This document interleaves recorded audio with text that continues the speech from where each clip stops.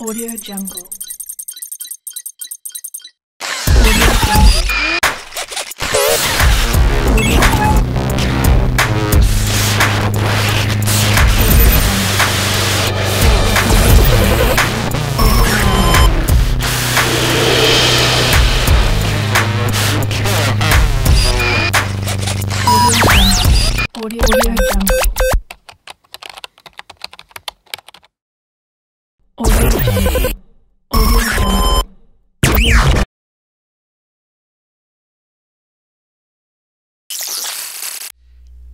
Fala galera, sejam bem-vindos ao podcast número 4. Hoje a gente vai bater um papo muito interessante aqui sobre hardware hacking, sobre espionagem, infiltração de dados, maloqueiragem cibernética, academia, estudo, um monte de coisa divertida aí. Tô com o Júlio aqui, fala aí, Júlio. E aí, pessoal, beleza? Beleza.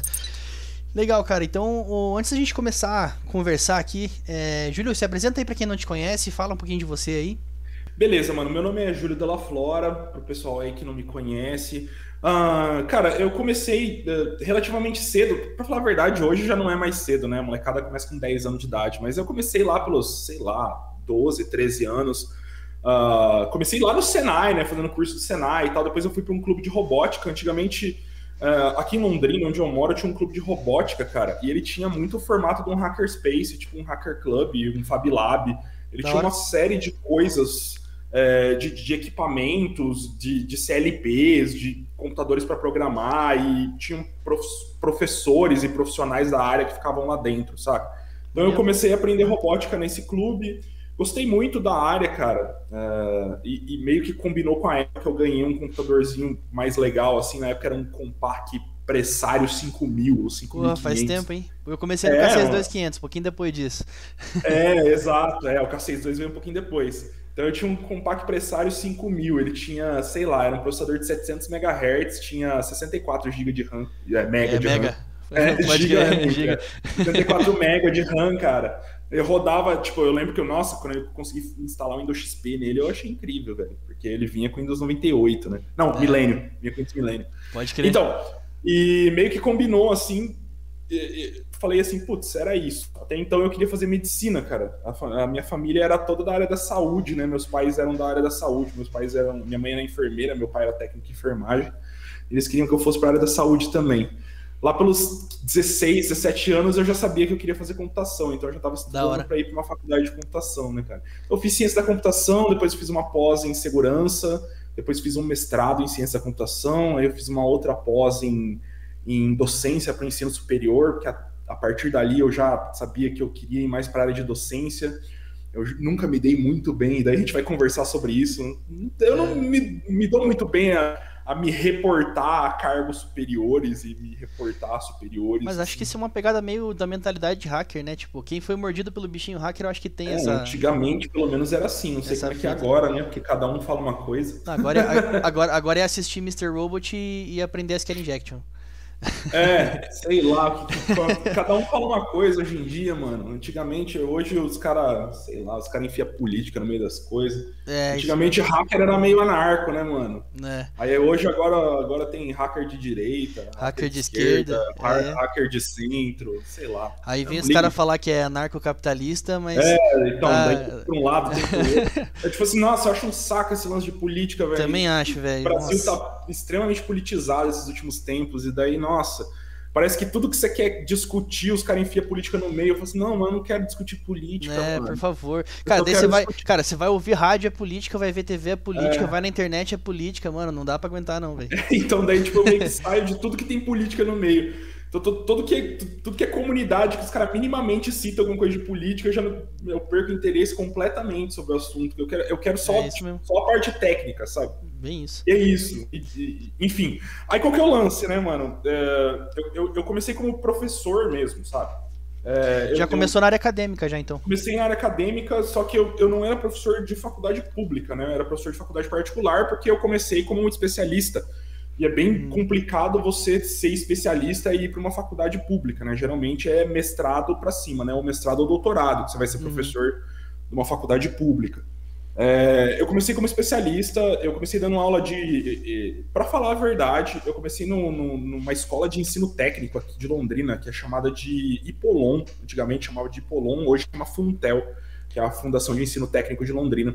Eu dava aula de eletrônica, digital, de instrumentos de medidas, uh, de, mais ou menos para essa área de eletrônica.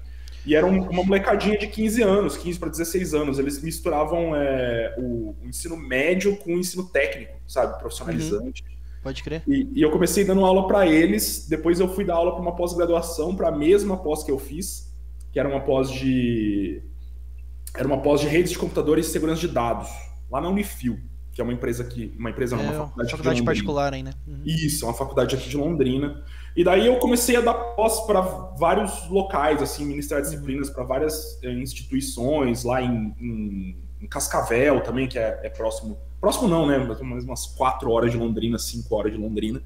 Uh, na Unopar, aqui em Londrina também. E daí depois eu acabei entrando num projeto na Uniciv, né? Hoje eu sou coordenador da Uniciv, tenho quatro pós-graduações que eu coordeno lá. E tenho disciplinas nessas quatro pós-graduações. E, cara, a minha vida foi indo mais ou menos para o meio acadêmico. Eu também trabalhei como. Eu também fui para a área corporativa, né? Eu trabalhei na Convis um tempo, eu sempre fui consultor de, de, segurança, né? Então eu sempre tive trampo de consultoria, sempre fiz consultoria. No começo, quando eu não era é, grande coisa de consultoria, eu também. Consultoria não, grande coisa de segurança, eu também fazia trampo de infra, né? Então eu fiz uma certificação de, em servidores Windows lá no terceiro ano da faculdade. E daí eu, tra eu trampava com server, com servidor Windows, né? Trampava com rede, mas eu sempre fui focando mais em segurança. No terceiro ano, eu lembro que tipo, no terceiro ano a gente tinha que fazer o TCC, então eu já fiz. Meu TCC foi sobre o Metasploit Framework. Na época nem era escrito em Ruby ainda, o Metasploit Framework. Faz tempo, na época do Backtrack, faz... Backtrack 3 ainda, 4. É, é, mano. Tipo, o Metasploit teve uma época que ele foi reescrito completamente em Ruby, mas antes eu usava C, Perl, tinha tipo um monte de. Era uma gambiarra total, assim. Legal, mano. E, e, daí eu lembro que foi o meu, o meu, o meu TCC foi sobre isso, no terceiro ano da faculdade. E por aí foi, né, velho? Então eu trabalhei como, como analista de segurança. Hoje eu ainda trabalho como consultor de segurança. Eu trabalho hoje como consultor de segurança para a LB2, que é uma empresa aqui de, de Londrina, né? Eu tenho uma parceria com a LB2. O braço de segurança da LB2 é eu que, é eu que, que fortaleço lá para eles. É, e, e eu trabalho também, né, como coordenador na Uniciv e faço toda essa parte de, de tipo de mídias da Uniciv, então anuncio as pós, ajudo a anunciar, né, uh, faço conteúdo, gero conteúdo, gero interesse para as pessoas. Então eu sempre tentei ir mais para essa área de, de buildar, de construir comunidade, para a área de hardware, porque é algo que eu gosto pra caramba e é algo que era muito inexistente na época que eu comecei a a pesquisar esse lance de misturar segurança da informação. Hoje tá bem mais forte a cena, né? Você vê aí, eu vejo aí o grupo de vocês ali de, de hardware do Telegram ali, eu vejo que tá forte a cena, né? A galera tá. É, a gente conseguiu pelo menos encontrar as pessoas perdidas Nossa. no Brasil que gostavam daquilo, né? Pesquisa é, é uma atividade fundamental em segurança da informação Claro. Porque é a maneira como você vai se apresentar para o mercado, sabe? Você vai pesquisar a tua vida inteira e descobrir coisas novas, a atividade de pesquisa em si, a pesquisa exploratória, mesmo a pesquisa bibliográfica. Se você for ler um livro de metodologia científica, você vai ver que você faz muitas coisas, muitas atividades de metodologia científica você aplica sem mesmo saber que você está fazendo. Sim. Sabe? Cara, e, e, assim, muito se engana quem acha que o pentester não precisa ser pesquisador também, porque, cara, é, você vai explorar uma falha, você vai ter que entender como a falha funciona, então você vai ter que pesquisar, você vai ter que entender o sistema operacional, você vai ter que entender é, como que a falha, é, por que, que ela existe e o que, que ela vai atingir, porque senão você não vai conseguir explorar ela para reproduzir durante o seu teste. Né? Claro, mano, e você como pentester, teu objetivo não é encontrar um zero day, é. Tipo assim, não, não, não na, na atividade de pentest, mas você como pentester, não é óbvio que você queira pesquisar a ponto de encontrar um zero day e publicar ele, ou encontrar uma CVE e publicar? É óbvio, Sim. então é uma atividade de pesquisa, né? Se você for pensar por esse lado. tem mas tem uma galera que, que é, tá feliz em estar no mercado e, e usando ali o, o, o low hang fruits, né? Pegando os exploits que já existem e trabalhando com isso e não, não tira a, a, a, a vontade do cara de querer trabalhar assim, sem problema. Sem né? problema. Mas aí já entra num outro ponto, cara, que até a gente tava conversando mais cedo aqui, que é a questão de você poder pesquisar é, o que você. é, você ter tempo para pesquisar e você é, ter que pesquisar o que você trabalha. Porque geralmente, né, a realidade de grande parte das pessoas de segurança é você trabalha durante o dia e a hora que você tem um tempinho fora a família para você pesquisar alguma coisa, se você Uhum. não pesquisar o que você faz, você acaba ficando fora. Né? Então é, é- é pesado isso aí porque, tipo, pô, tem coisa que a gente quer estudar às vezes que não consegue, não dá tempo, porque você tem que estudar outra coisa que é o, o teu trampo. Né? Sim, mano, é, é um dos motivos de eu ser pobre na vida. Porque, ti- tipo assim, o que eu gosto de fazer na minha vida não, não é monetariamente viável no Brasil, sabe? Eu, eu gosto de hardware, de hardware hacking, eu gosto de pentest em IoT, eu gosto de pentest embarcado, eu gosto de falha relacionada a hardware, mano. Quanto, quanto, você, como, como, como profissional da área, quantas vezes você já viu é, sei lá, uma empresa brasileira abrindo um bug bounty para hardware. Quantas vezes Não você já abre, viu uma né? empresa brasileira abrindo um pentest ou enviando submetendo uma, uma tendo necessidade de fazer um pentest no embarcado? É ínfimo, mano. Quando Cara, tem nos Estados Unidos. E mas tem- você acha que eu vou parar de fazer isso, um negócio que eu gosto, simplesmente porque não dá dinheiro? Não, eu vou É, continuar não, tá certo. Não, tá certo. Mas assim, mano, é que nem você falou, quantas empresas brasileiras, né? É, pegando um gancho com a tua palestra lá, da a última palestra da H2 que você fez lá, que foi em relação a, a anti-tampering, né? na- nas máquinas Uhum. de cartão e tal. Cara, nem a galera de máquina de cartão não te procura pra fazer esse tipo de, de trampo? Mano, eles já procuraram, o pessoal veio atrás, assim, conversou, meio que deu uma morrida no, no assunto, mas Uhum. ah, é assim, cara, a- as máquinas de cartão, elas são PCI, Uhum. né? Elas, elas têm certificação PCI e DSS, né? É. A partir do momento que ela passou na certificação PCI, que é algo que é necessário para operar, você acha que os caras estão muito aí, É, né? sabe? Pra tipo, ah, tá, beleza, passou Tá. na PCI. Ah, então eu vou pegar aquele maluco lá que encontrou uma falha e eu vou refazer todo o meu projeto de hardware, gastar mais, sei lá, uns 18 milhões de dólares para refazer o projeto de hardware, fazer a máquina do zero de novo, porque um maluco lá no Brasil achou uma falha nova na minha máquina. Porra nenhuma. Verdade. Pô, só, lem- lembrando que, só lembrando que tudo que a gente tá falando aqui é a nossa opinião, tá? Que eu trabalho no Ah, Itaú. claro. Eu, trabalho, eu trabalho no Itaú, então eu falar sobre máquinas de cartão, alguém pode vincular isso com o cara que trabalha no ah, Itaú. sim, é, mas, mas assim, convenhamos, o, o Itaú não desenvolve máquina de cartão, nem É, exatamente. nenhum banco desenvolve máquina de cartão. Quem desenvolve É. máquina de cartão são as empresas especialistas nisso, e geralmente elas mandam fazer isso na China, né, cara? É. As máquinas de cartão vêm da China. Mas assim, claro, eu, ó, eu tenho atualizações, tipo, as novas versões das máquinas de cartão que eu, que eu, que eu, que eu comprei há pouco tempo. Porque, tipo, eu tinha uma, uma, uma máquina de cartão pretinha lá que eu fiz o- o- os testes na H2. A versão nova dela já não tinha os pontos de. Já não tinha os pontos de JTAG que eu encontrei na antiga. Então os caras arrumam, né, mano? Sim, Eles claro. não vêm atrás, é óbvio. É claro, se vier atrás tem que pagar, né? Ah, sim, claro. É. Mas é óbvio, é, é claro que eles arrumam. Eu não lembro quem que falou que tipo, tinha um maluco que. Eu não lembro quem, mas foi numa H2, que o cara tava lançando o Zero Day da Microsoft. Os caras da Microsoft tava na primeira fila anotando pra sair da, da H2. Pra sair de lá e já. reportar. É, essa história é histórias que rolam na H2, né? Que todo sim, mundo fala, sim. eu não lembro de quem que foi essa palestra. Faz, faz umas Mas- duas HC já, acho. Isso aí. Uma, duas atrás, acho. É, tipo, Três, uma, uma é. coisa assim, mano. Pode crer. E, e- mas é isso, sim, máquina de cartão, cara. E, e assim, e eu sou um, um bosta, eu não tenho os equipamentos, nem, nem a noção.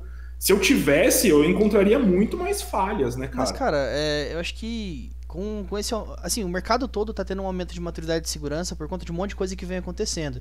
É, se você for Uhum. pensar, cara, né, a, a minha área aí mais de, de Red Team e tal, Uhum. é, já era difícil de ter Red Team em cliente final e tal. Hoje em dia tá já tá muito mais comum. sim, né? sim, acontece muito. E, e outra coisa, Pode, né, mano? pode ser que o mesmo aconteça contigo, né? Exato, eu me preparo pra. Tipo, a minha ideia é o seguinte, cara, eu ficar o melhor que eu posso, né? Eu ser o melhor que eu posso nessa área para que daqui uns 5, 6, 7 anos eu, eu tenha ali uma fatia legal, sabe? Ou que, Uhum. que me, me retorne. Retorna, no final das contas, mano. Eu tenho o curso de hardware hack que me retorna, o pessoal tem interesse na área.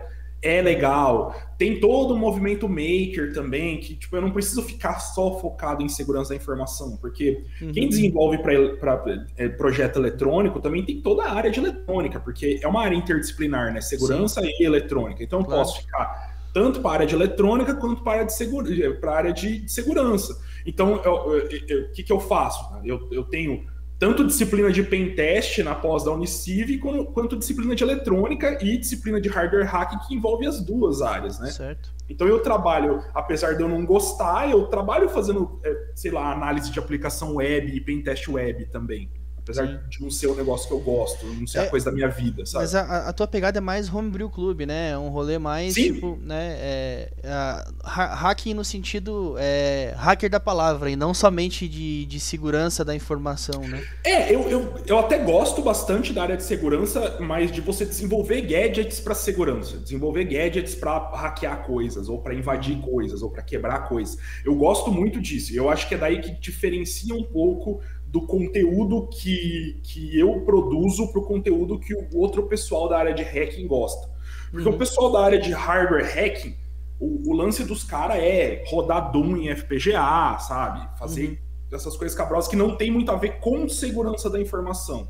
Já pro meu lado, eu gosto de gadgets de segurança ofensiva. Então, ah, sei lá, é, é, ataques de bad USB, né, Proxmark, ataques contra a RFID, ataques contra cartão de crédito, ah, ataques de, de fault injection em hardware, eh, visando, sei lá, bypass de autenticação, essas coisas.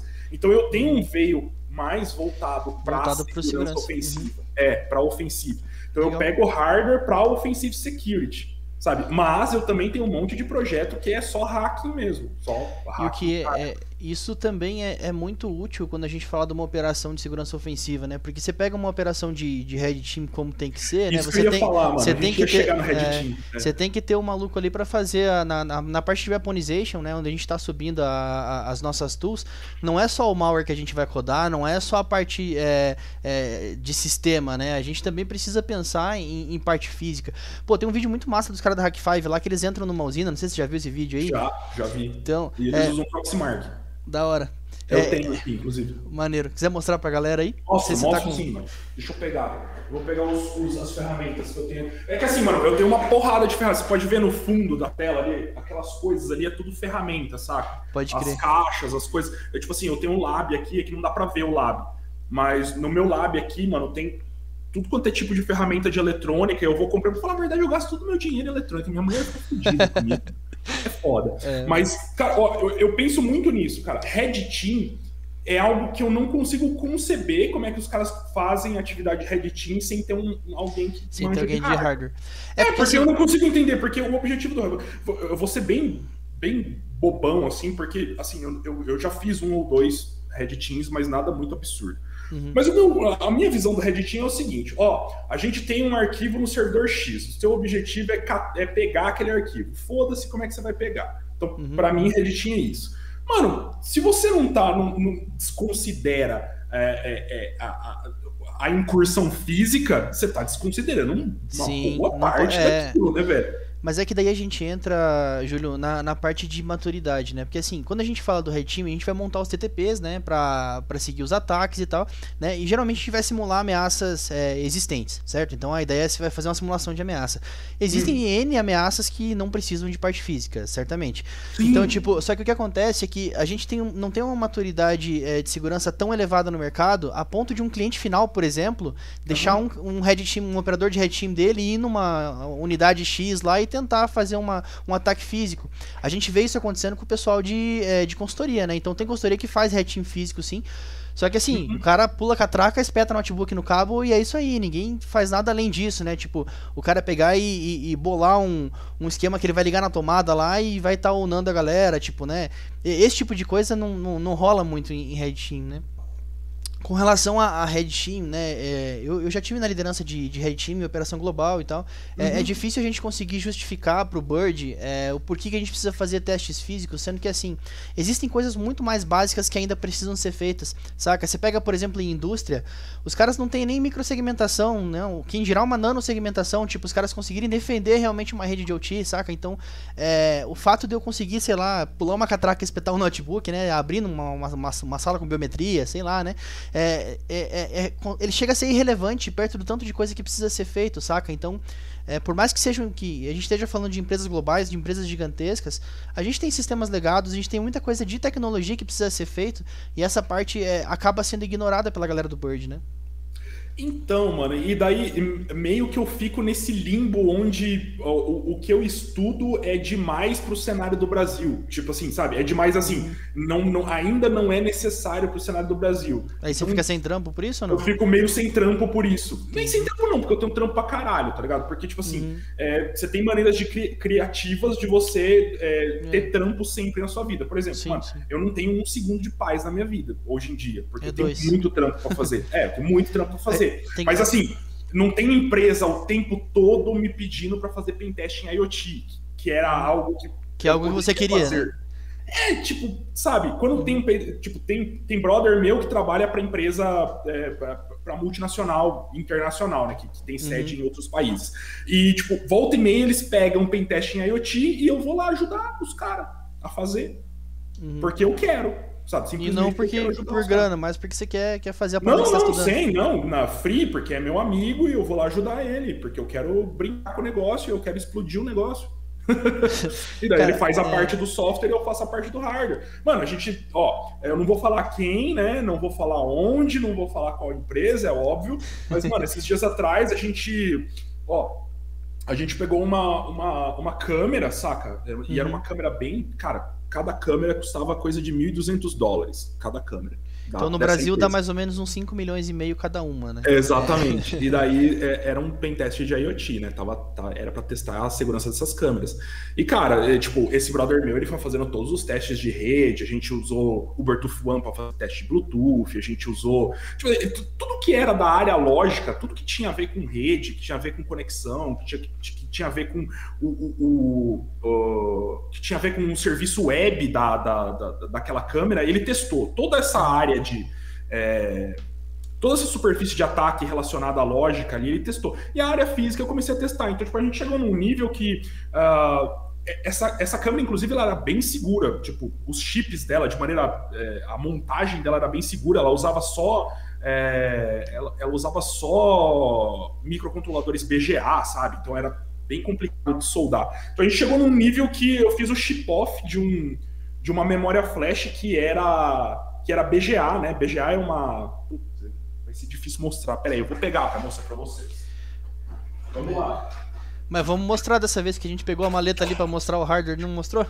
Ah, vamos, é. Vamos lá, então. Daí qual que é o lance, mano? É, BGA é um encapsulamento. Sabe quando o pessoal fala assim, ah, eu tive que fazer o. Quando queima o Xbox É, do cara. o rebale. Aí eu tive que fazer um rebaling. Então, o que, que é o rebaling? É, é as bolinhas do BGA. Então, Pode qual crer. que é o lance, mano? A gente fez o chip-off da memória de dentro da câmera. Aí a gente usou esse programador universal, que é para ele fazer dump de memória.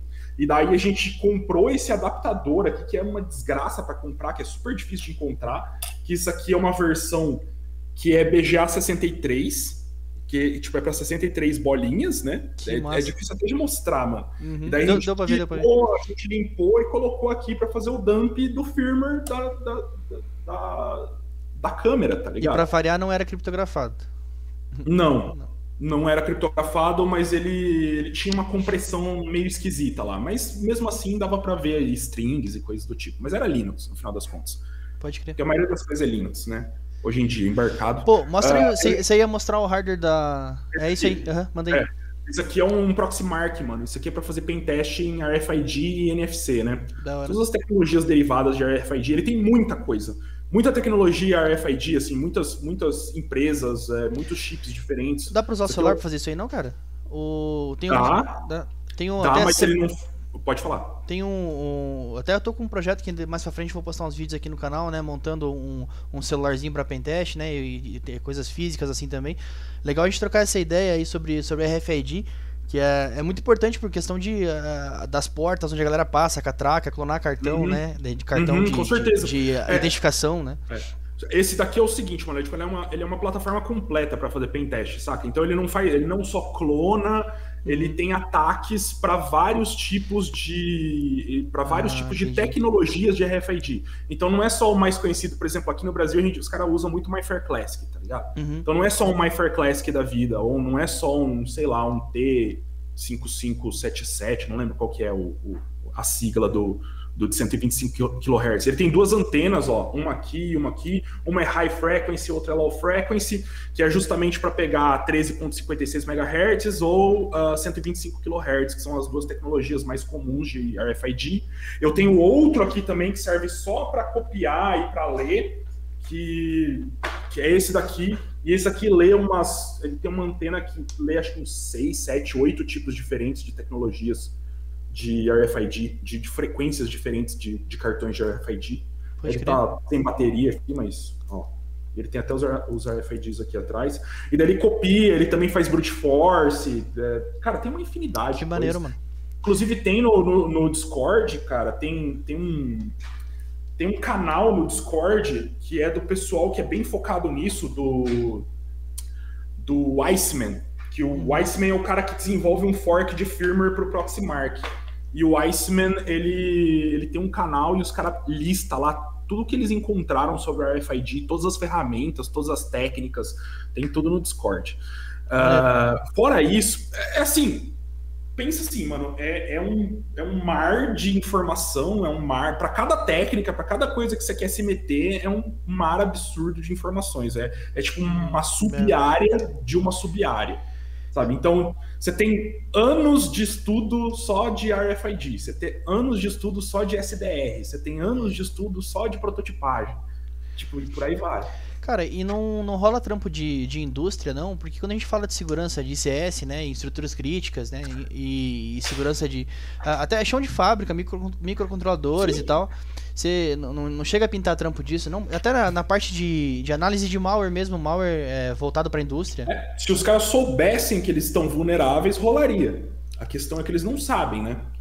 Tipo, rola, tem um monte de, de paper, tem um monte de, de artigo, tem um monte de palestra sobre, ah, sobre invasão em, em sistema escada, saca? Sobre, sobre questão de, ah, de insert de, de, de- de corpo estranho dentro de, dentro de, de aplicação, assim, de CLP e É. coisa do tipo. Ah, que você pega Tem lá, muita né? coisa. Hoje que você, vamos dar um exemplo de, de indústria aqui, você tem uma, lá uma, uma caldeira na indústria lá, vai ter um, um microcontrolador controlando ela, você vai ter interface homem máquina, né, supervisório lá controlando Sim, esse com cara. certeza. E- É, geralmente E os caras escada, né? e eles não segmentam isso, tipo da rede Não. de TI você vai conseguir chegar lá também. Então é, tem essa esse tipo de vulnerabilidade hoje em dia. A superfície de IoT, IoT entre aspas, a superfície de embarcado é tão gigantesca, mano, que os caras, eles não se deram conta ainda que tá todo mundo fudido. Porque, é tipo assim, não tem segurança nenhuma em nada de IoT. É tipo assim, a gente vive nos anos 90, de novo, pra IoT. Pra IoT, assim, quando eu digo IoT é embarcado, mas assim, Sim. Quando, quando, quando o embarcado virar full IoT, quer dizer, quando o embarcado tiver conexão com a internet, aí vai estar todo mundo fudido mesmo, porque de qualquer lugar você vai conseguir invadir, então vai ferrar com tudo. Por enquanto, a segurança por obscuridade ainda, ainda ajuda os caras, porque o cara tem um sistema, mas o sistema tá fechado, então ele controla a caldeira dele, mas é um ou dois computadores dentro da rede ali, aqui aquele computador não, às Talvez vezes não, não- tá na rede, ou Mas daí vem o Zé Ruela e liga esse computador na rede, aí caiu a casa, né? Exato, então é, muito disso. O, o cara não tem noção nem do que, que ele tem ali. Ali é uma caixa mágica para os caras. Se um computador normal hoje em dia é uma caixa mágica para as pessoas, né? Sim, você sim. vai imagine um, um sistema especializado, Uhum. tipo, sei lá, um sistema médico especializado, ou um sistema industrial especializado. É, assim, quanto mais tecnológico as, for- as coisas forem se tornando, maior a superfície de ataque dos embarcados. É óbvio, Hum. né? Vai, daqui a pouco você vai estar invadindo tênis, daqui a pouco você vai estar. smartwatch, os caras já invadem, né? Smartwatch, é, é, é, qual que é o nome? Marca-passo, os caras já invadem já faz uns 10 anos que os caras invadem marca-passo. Então, Não É. tem, cara. É que ainda a- a- não se ligaram ainda. Sabe que não deu aquele clique? É tipo quando o Loft, lá em 1990, tentou explicar pro governo dos Estados Unidos que os caras estavam fudidos, Pode crer. A internet ia Ah. fuder com todo mundo, só Mas que assim- levou 20 anos pros caras começarem a Só, entender. só É que se isso. for pensar, cara, ó, a- por que, que evoluiu né, a questão de segurança? Porque os incidentes começaram a ficar mais visíveis, né? Uhum. Então, cara, a gente pega um, o que, que foi, qual que foi, sei lá, o último grande incidente aí de, de indústria, sei lá, Stuxnet, né? Que o pessoal É, fez tipo, a, a, dos, é, né? a, a- a centrífuga lá, rodar mais rápido lá e tal. Cara, beleza, mas hoje em dia a gente tem tanta coisa de infraestrutura crítica, né? Então, o, assim, por que que grupos de APT, né, essa galera do, do mal mesmo não vai focar nisso, né? Tipo, então hoje em dia a gente é, não, não, ter, não ter preocupação com, com relação à indústria, eu acho que é extremamente perigoso para as empresas, né? E nem os caras cara do mal se ligaram ainda. Essa é a questão. E nem os caras do mal conseguiram, tipo assim, massa crítica e conhecimento técnico suficiente para começar a se focar nisso também, mano. Essa é a questão. Mas tem, por exemplo, lá no- nos vazamentos do Vault 7 e tal, tem um monte de, de técnica com, com, com IoT. Não sei se você chegou a dar uma olhada no, no Vault 7, Não, lá no. Vault 8 também, que saiu, do, do Wikileaks, saca? Tem, tem o Cherry Blossom lá, tinha o Dumbo ataque, tinha uma série de ataques que eram focados. Tinha o Weeping Angel, tinha, tinha uma série de ataques que eram focados em IoT. Focado em IoT, né? Pra falar a verdade, quem foca muito nisso é, é, é birô de segurança, tipo, sei lá, tipo FBI, tipo NSA. Sim. tipo, Ah, é, porque é, se for pensar bem, né, cara, com relação a, a, a você construir hardware para esse tipo de atividade, já a primeira coisa que vem à cabeça é espionagem, né? Sim. Você construir, você construir hardware para para exfiltrar dados, hardware para conseguir obter informação, né? Você tem, um, tem alguma coisa para falar sobre isso aí? Você tem algum gadget legal para mostrar pra gente? Eu penso, mano, tenho. Eu penso que todos os gadgets que eu tenho aqui, de alguma forma, dá pra você usar pra filtrar informação ou pra, sei lá. Ah, por exemplo, ó, ah, qualquer Arduino você pode utilizar para filtrar informação. Qualquer Raspberry, vídeo Mr. Ro Mr. Robot, você pode usar para filtrar informação. Ah, fora isso, cara, o que mais que tem de que você poderia. Olha, por exemplo, ó, isso aqui é um, um keylogger de hardware, ó. Um, um Rubber Putz, Ducker? Ah, não. Não, não, é um keylogger de hardware mesmo. Ah, pode crer. Ele, Vocês- ele, é, ele tem uma memória ele- interna? Ele tem. E, e essa aqui é uma versão mais antiga, mas tem a versão nova que ele tem Wi-Fi. E daí Transmite você ainda. espeta. É, ele transmite. Então você espeta ele entre o, o- o- entre o PC e o teclado, Uhum. saca? E daí você conecta numa rede é, hidden dele, né? Numa rede oculta, e, e ele, ele transmite pra você tudo que o cara tá Uhum. E é, digitando. e é completamente imperceptível Sim, pro cara, porque é, não vai pegar, né? é HID, né? O cara espetou no, no. No- como um teclado, não vai ser reconhecido como um USB trafegando dados ali, né? Ele é, É, sim, é um teclado, sim. HID. Teclado, é. Uma coisa que eu vi esses dias atrás, assim, é, é mera especulação minha, mas eu vi esses dias. Teve até um maluco muito aleatório que veio encher o saco no meu Instagram esses dias atrás, falando: Isso aí é um piquite. Eu falei assim: Eu sei, mano, eu uso, né? Eu sei o que, que é. Ah, é assim, cara. Esses dias atrás saiu uma reportagem que um engenheiro mecatrônico ele estava fazendo cash out em caixa eletrônico. Então ele estava arrancando dinheiro de caixa eletrônico. E o- eles aprenderam com esse engenheiro ele- e- eletrônico, né? Eles aprenderam é, e- esse dispositivo aqui, que é um PIC Kit, né? Que é um dispositivo que é feito para você fazer upload e download de, de firmware para PIC, para micro, Uhum. microcontrolador PIC, né? Então é para Uhum. você programar microcontrolador PIC. Sim. E ele tinha isso aqui e ele tinha uns moldes que, que pareciam estranhamente se conectar no caixa eletrônico. Tipo, ele tinha uns botões do caixa eletrônico também, onde parecia que ele retirava os botões, Uhum. colocava aquele molde, aquilo espetava certinho nos test points. É o famoso chupa-cabra. É, então o que ele fazia? Aparentemente ele conseguia subtrair o firmware do, do, do caixa eletrônico, do, do- do cofre do caixa eletrônico, que está atrás do caixa, né? Atrás tem certos caixas eletrônicos que eles têm um cofre e o cofre tem uma tem um, um pinpad ali que você tem que digitar uma senha para poder abrir. Então, Uhum. aparentemente, ele conseguiu subtrair o firmware da, daquele, da- da- da- daquele cofre e ele conseguiu fazer um reverse e, e acho que tinha uma tinha senha hard-coded ali, ou alguma coisa do tipo. E daí, tempos depois, ele voltava e ele sabia a senha e ele digitava a senha, abria o caixa e arrancava o dinheiro e ia embora. Caraca. Então, foi, foi- pelo menos foi isso, assim. Ninguém falou nada disso na, na reportagem, porque ninguém sabia direito. Sabia explicar o que tinha acontecido. Mas eu consegui inferir que foi isso que o cara fez pelo, pelos equipamentos que foi, foram mostrados. Uhum. É, um, é uma matéria da. Acho que da Globo, saiu na Globo, saiu em vários. Você colocar aí engenheiro mecatrônico preso, caixa eletrônica. Vou Inclusive, deixar, ó, um tá, tá o link aqui- ó. É. Inclusive, teve um maluco muito aleatório que veio falar comigo: Isso aí é um piquete, você tem que parar de acreditar no que a Globo Lixo fala. Daí eu falei assim: ó, os caras metendo política no meio do assunto técnico de novo. Lá vem Falo nada. eu falei assim, ai, meu amigo, pelo amor de Deus. Então, pelo que me parece, o cara tava usando um pick kit para extrair ah, a, né, para extrair o firmware de um, de um PIC, né, de um microcontrolador PIC. Obviamente, o microcontrolador PIC ah, era o microcontrolador principal do PICPad que fazia a, a parte do cofre. Então, provavelmente tinha uma vulnerabilidade, uma fraqueza ali no, no PICPad do Consegui cofre. explorar. E o cara conseguiu explorar e o cara conseguiu abrir o cofre do caixa eletrônico e arrancar dinheiro. Então, parece que foi isso. Né? Entendi. Não tenho certeza, porque assim, não fui eu que fiz, não fui eu que fui preso, e também não, não sou eu que sou o delegado que investigou. Que investigou e é claro que os caras não vão abrir, né? E é claro que os caras não vão falar o que os caras fizeram. Então, isso aqui é um Proxmark, né, cara? Qual que é a ideia do Proxmark? Isso aqui é uma ferramenta para fazer pen test em, em RFID, né? Em RFID e NFC. É, ele faz pen test, né? Ele, ele, ele faz ataques, ele faz leitura, Ó. gravação, emulação e alguns ataques numa série de tecnologias, tanto em high frequency quanto em low frequency. Então, tanto em ah, 13.56 MHz quanto em 125 kHz, que são as duas frequências mais comuns para o RFID funcionar, né? Ah, legal. Ah, Qual que é a ideia disso aqui? A ideia é que você tem uma ferramenta, e aí com firmware modificado pela, pela comunidade, né? Tem forks, inclusive o Iceman Fork, né? Que é um dos forks mais conhecidos dessa, dessa aplicação aqui, dessa ferramenta. Você tem uma série de ataques, uma série de possibilidades de clonar cartões, de quebrar senhas de cartões, né? De quebrar chaves de cartões, de conseguir informação que estão dentro desses cartões.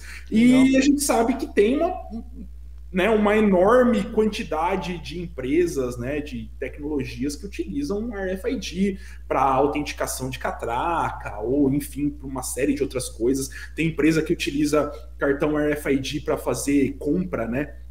Para você consumir, né? Ele coloca um tanto de crédito no cartão RFID, daí você Até pra gasta. desbloquear, desbloquear a própria máquina. Abrir a, a porta, desbloquear a máquina. Tem empresas que utilizam cartão Isso, como é desbloquear a máquina ou mesmo. Cara, tem, uma série de coisas que dá para fazer Sim. com RFID, né? Ah, Mas- então, Esse cara, ele é automatizado, então. Ele já tem os ataques dentro dele, rodados já. pra e falar a você- verdade, é, ele, ele- você pluga ele no PC, ele tem um, um serial, interface, ele tem uma, uma interface serial, Aham. E daí ele tem uma série de ataques, ele tem uma série de, de- das tecnologias, você encontra lá qual que é o cartão que você quer. Ah, eu quero um MyFair Classic, ah, eu quero um MyFair Ultralight, ah, eu quero um, um T5577, vai depender do cartão que você quer lá. Uhum. E daí, dependendo do cartão que você quer, às vezes ele tem alguns tipos de ataque, às vezes ele lê e grava, às vezes ele, ele emula, às vezes ele Uhum. só lê. Então vai depender da- das tecnologias dos cartões. Então isso Maneiro, aqui cara. É uma ferramenta muito legal. E- Tem um outro também que serve Isso. mais para gravação. Isso já mostra por que, que a gente precisa ter hardware hacking dentro de um Red Team também, cara. Porque, né? Certeza. Como é que a gente vai passar a porta eletrônica hoje, né? Antigamente era lockpicking, né? Sei lá, abriu. Cara, tem uma, uma série de coisas. Tem gente que usa isso por uma infinidade de coisa, velho. Ah, como eu falei, tem restaurante que usa isso aqui para colocar crédito no cartão. Tem tipo parque de diversão. Cartão de usa. ônibus, né? Passe cartão de ônibus. metrô. Inclusive, os, os caras tiram uma pira gigantesca. Com, Ai, dá pra burlar cartão de ônibus. Dá, mano. Tipo, é um modo de ônibus, não faz diferença. É, ué. que- Quer dizer, não Eu dá, sei, não dá porque é é crime, tá? Artigo 154A do Código Penal aí, é crime, viu? Não vai fazer isso aí não, pô. dinheiro, né? Isso. Né? É, Mas, nossa, pensa num esquema. Você quer vender alguma coisa? Pensa num esquema melhor, né, velho? Pelo É. amor de né? Mas então, mas eu vejo que o pessoal tem uma fixação com esse lance de cartão, né? De cartão de transporte público. Mas tem uma, uma série de outras. Pra falar a verdade, eu, tô- eu acho que tudo que você vai clonar relacionado a RFID, no final das contas acaba sendo crime se você utilizar para um fim escuso. Pra né? fim, é, Não, exato. A tecnologia em si não é crime, né? Subverter a tecnologia em si não é crime, mas você utilizar para fins criminosos é. Aí é crime. Quem falar isso para vocês, né? É. Daí tem esse também, isso aqui é um copiador também, né? Ele lê, copia, clona cartões. É, e esse daqui, ele tem um número de frequências maior, se não me engano, tem umas sete ou oito frequências diferentes que ele, que ele copia ou clona, tipo de cartões diferentes. Então ele vai lá dos 125 kg e ele vai subindo ali para Uhum. 13,56. Ele vai, assim, tem um monte. Tem um monte, tem Que maneiro. 200 kg, 300, 400, 500 kHz, ele tem uma série. Ele só tá sem bateria, por isso que não dá para mostrar ele ligado. Mas tem vários desses tipos, tudo na China, é óbvio, né, para comprar, é onde vai ter. Ah, então isso para pesquisa de segurança e para Red Team, cara, tem muita coisa interessante para Red Team aqui. Sim. Né? Tinha isso. Mas quando a gente fala de sistema legado, principalmente, né? Eu acho que esse é um dos grandes problemas da indústria hoje, porque quando o cara vai ter que atualizar, ó, geralmente, é, vamos usar o exemplo do supervisório lá, às vezes os caras estão usando máquinas com Windows XP, e pro cara poder trocar aquele supervisório que tá com Windows XP, ele vai ter que tro- trocar toda a parte de, de, de controladores, vai ter que trocar toda a parte da, da esteira que ele tá mexendo ali, ou o que seja aquele hardware, né? Porque é, ele, ele não, vai, não vai ser suportado por sistemas mais novos, então por isso que a gente consegue, a gente vê muita coisa legado na indústria hoje, né? E o, Ah, pessoal sim. não, e o pessoal não consegue ter esse tipo de evolução, porque é, é muito caro, né?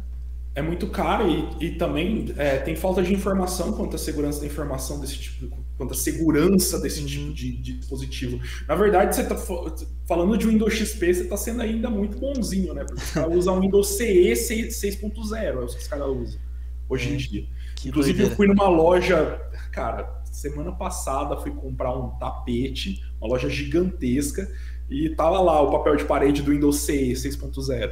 Eita. Tipo, é, cara, é isso que os caras precisam usar, precisa de coisa automatizada e usar scanner e essas coisas assim de mão, sabe? E tá lá. Às vezes o cara precisa disso aí porque o cara usa uma impressora matricial, sabe? Sim. Mas em- em- no cenário né, de, de grandes empresas, né, e pensando em multinacionais e tal, é, o pessoal na, na indústria tem, tem tentado se atualizar, mas a dificuldade geralmente é essa, né? E principalmente a questão de segmentação da rede, né? É, a gente estava até conversando antes aqui. Uhum. É, a rede de, de OT, ela, geralmente ela é acessível da rede de TI, o pessoal não tem uma segmentação, uma microsegmentação, né? Tem até a, nano, a nanosegmentação, que seria dentro entre um PLC e outro, você tem uma segmentação, né? E a gente não vê isso no mercado hoje, é difícil. E, e tem muitas outras coisas que você vai começar a pensar assim, ó, a pessoa, a- a- a- o próprio colaborador. O colaborador ele tem um notebook, ele tem um celular, ele tem um smartwatch, ele tem, daqui a pouco ele vai ter uma, um tênis que mede os passos e a temperatura, ele vai ter uma jaqueta que mede temperatura e, e condição climática, ele vai ter um óculos que, que dá dicas do dia e, e tudo isso é conectado, então ele vai ter aquela rede pessoal. Cara, como é que você vai lidar com isso dentro de uma empresa? E tudo isso tendo Wi-Fi, tudo isso, Sim. tudo isso se conectando, e, e é o lance da internet das coisas. Daqui a pouco vai ter o Internet of Dust, e vai ter poeira inteligente para tudo quanto é lado. Então você, você imagina, cara, o cenário caótico que a gente tá se metendo. É, E- cara, eu, eu digo assim, que acho que na, na indústria, né, na empresa, ainda é mais fácil. Porque, tipo, é, você falou de wireless, por exemplo, o cara coloca um NAC lá, faz alguma coisa, ele consegue até se proteger de alguma forma, né? Mas e, e o pessoal em casa, né? A galera tá. tá pô, pega aí é, Alexia e essas coisas aí que. A galera liga pra automatizar a casa e bota lâmpada, bota porta, bota tudo automatizado, né? E é o futuro das coisas, né? Sim, Fica mas, automatizado. mas a empresa vai, vai, vai ter isso também, cara. Ainda mais Sim. essas startups legalzona Sim, sim. Aí. Os, os caras que, que, que trabalham de roller, né? É, os caras que andam de patinete, É, bike tal, dobrável. Vai ter tudo isso também, essas empresas. E, e ainda mais, os caras têm grana, eles vão colocar coisinha legal, coisinha divertida. É. E, e, cara, é, tudo é superfície de ataque hoje em dia. Tudo Sim. tem microcontrolador, superfície de ataque, é, câmera, até as, até as câmeras, até o que tem de coisa mais assim, é, básica hoje em dia vai ter microcontrolador. Cara, tem. Tem, tem tanto jeito, é que fica até difícil numa conversa com você, tipo, eu ficar elencando e enumerando todos Sim. os tipos de ataques possíveis. Baseado em hardware, né? ataque. É. absurda que é Eu essa imagino. né? Mas assim, para Red Team, se, se a gente fosse fazer uma operação de Red Team, você me desse uma semana para pensar, teria tantas coisas que poderiam ser- serem feitas, desde você pousar drone com Wi-Fi fake Né? sei lá, com fake Fazer um, Wi-Fi. fazer um wave twin dentro de um drone, né? É, Tipo, dentro de um né? drone, a- sabe? Massa. Até subverter mecanismo de autenticação, de catraca. é, cara, muita coisa. Até, sei lá, você conseguir ouvir o que o, o que o gerente ou o que o diretor tá conversando. É, usando um laser e refletindo através da luz, tipo um lamp ataque, sabe? Caraca. Ô, fala mais Ou- desse ataque aí, maneiro. Como é que é esse lamp ataque aí? É, esse lamp ataque é o seguinte, mano, você usa, você, você utiliza um laser e, e a reflexão do laser num objeto, é, pela vibração daquele objeto, você consegue captar ondas sonoras. Que e daí você loucura, consegue mano. fazer uma, uma escuta via laser, um negócio que a NSA faz desde 1960 e que ninguém tá nem aí. Inclusive foi o que a Caraca. NSA. Isso aí apareceu uma vez, isso é antigaço. Tem, tem alguma pesquisa sobre isso aí? Você tem um link disso aí? Tem, cara. Tem. Então, Lamp depois- ataque. Ó, não, o... Tá aqui embaixo aqui, ó, o link aqui, quem quiser ler. Ah, tá. Top. Ah, tem outras coisas, os ataques de Tempest são incríveis, ninguém dá muita bola. Não é que ninguém dá bola, ninguém conhece, pouca gente conhece sobre ataques de Tempest. Uhum. Ah, ataque de Tempest, o Tempest é um padrão que foi feito, pra, inclusive pela NSA, para poder se defender de emanações espúrias, né? Emanações eletromagnéticas espúrias. Hoje em dia eu digo que a coisa mais legal que tem para, na, na minha opinião, a coisa mais legal que tem para pesquisar de hardware hoje é fault attacks, né? Fault injection attacks e side channel attacks, né? Side channel analysis, que é justamente o que é você é, buscar maneiras novas do- de ouvir o hardware ou buscar maneiras novas de conversar com o hardware. Então, emanação eletromagnética, reflexão, reflexão de, de laser, de luz, de onda. Aí no, no Ah. sentido, mas isso no sentido de você conseguir é, trazer o que tem por trás, né? Então esse flow do fault injection é um ataque de calor, né? É tipo pra você Não trazer. é, fault é, injection tem vários tipos de fault injection. Tem fault injection por calor, tem por tempera, é, por, por, por calor, Calor por temperatura, frio, né? Por Calor e frio, né? Uhum. É, tem por, por luz branca, tem por laser, tem por voltage fault injection, né? Por, por Uhum. corrente, tem por eletromagnetismo, tem por ultrassom, tem por. Cara, tudo que você imaginar. Assim, tudo Uhum. Então- que, que cause qualquer tipo de perturbação ambiental, você vai conseguir criar alguma coisa dentro do microcontrolador. E também o que o microcontrolador responde, né? Porque o microcontrolador, cara, ali dentro, ele tá fazendo operações que demandam energia. Energia, né? Corrente elétrica. Corrente elétrica gera campo eletromagnético. Campo eletromagnético pode ser ah, detectado. E se você tem um objeto, um- hardware que detecta de maneira precisa campo eletromagnético, você consegue deduzir o que aquele hardware está fazendo. Então, se você tiver um dispositivo que tenha precisão suficiente, você consegue, por exemplo, é, dentro do hardware que está fazendo um processo criptográfico, você consegue reverter uma criptografia.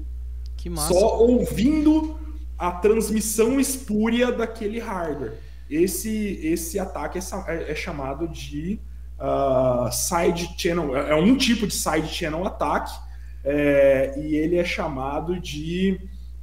Me fugiu a porra do nome agora. É, Power Analysis. Da hora. Sim.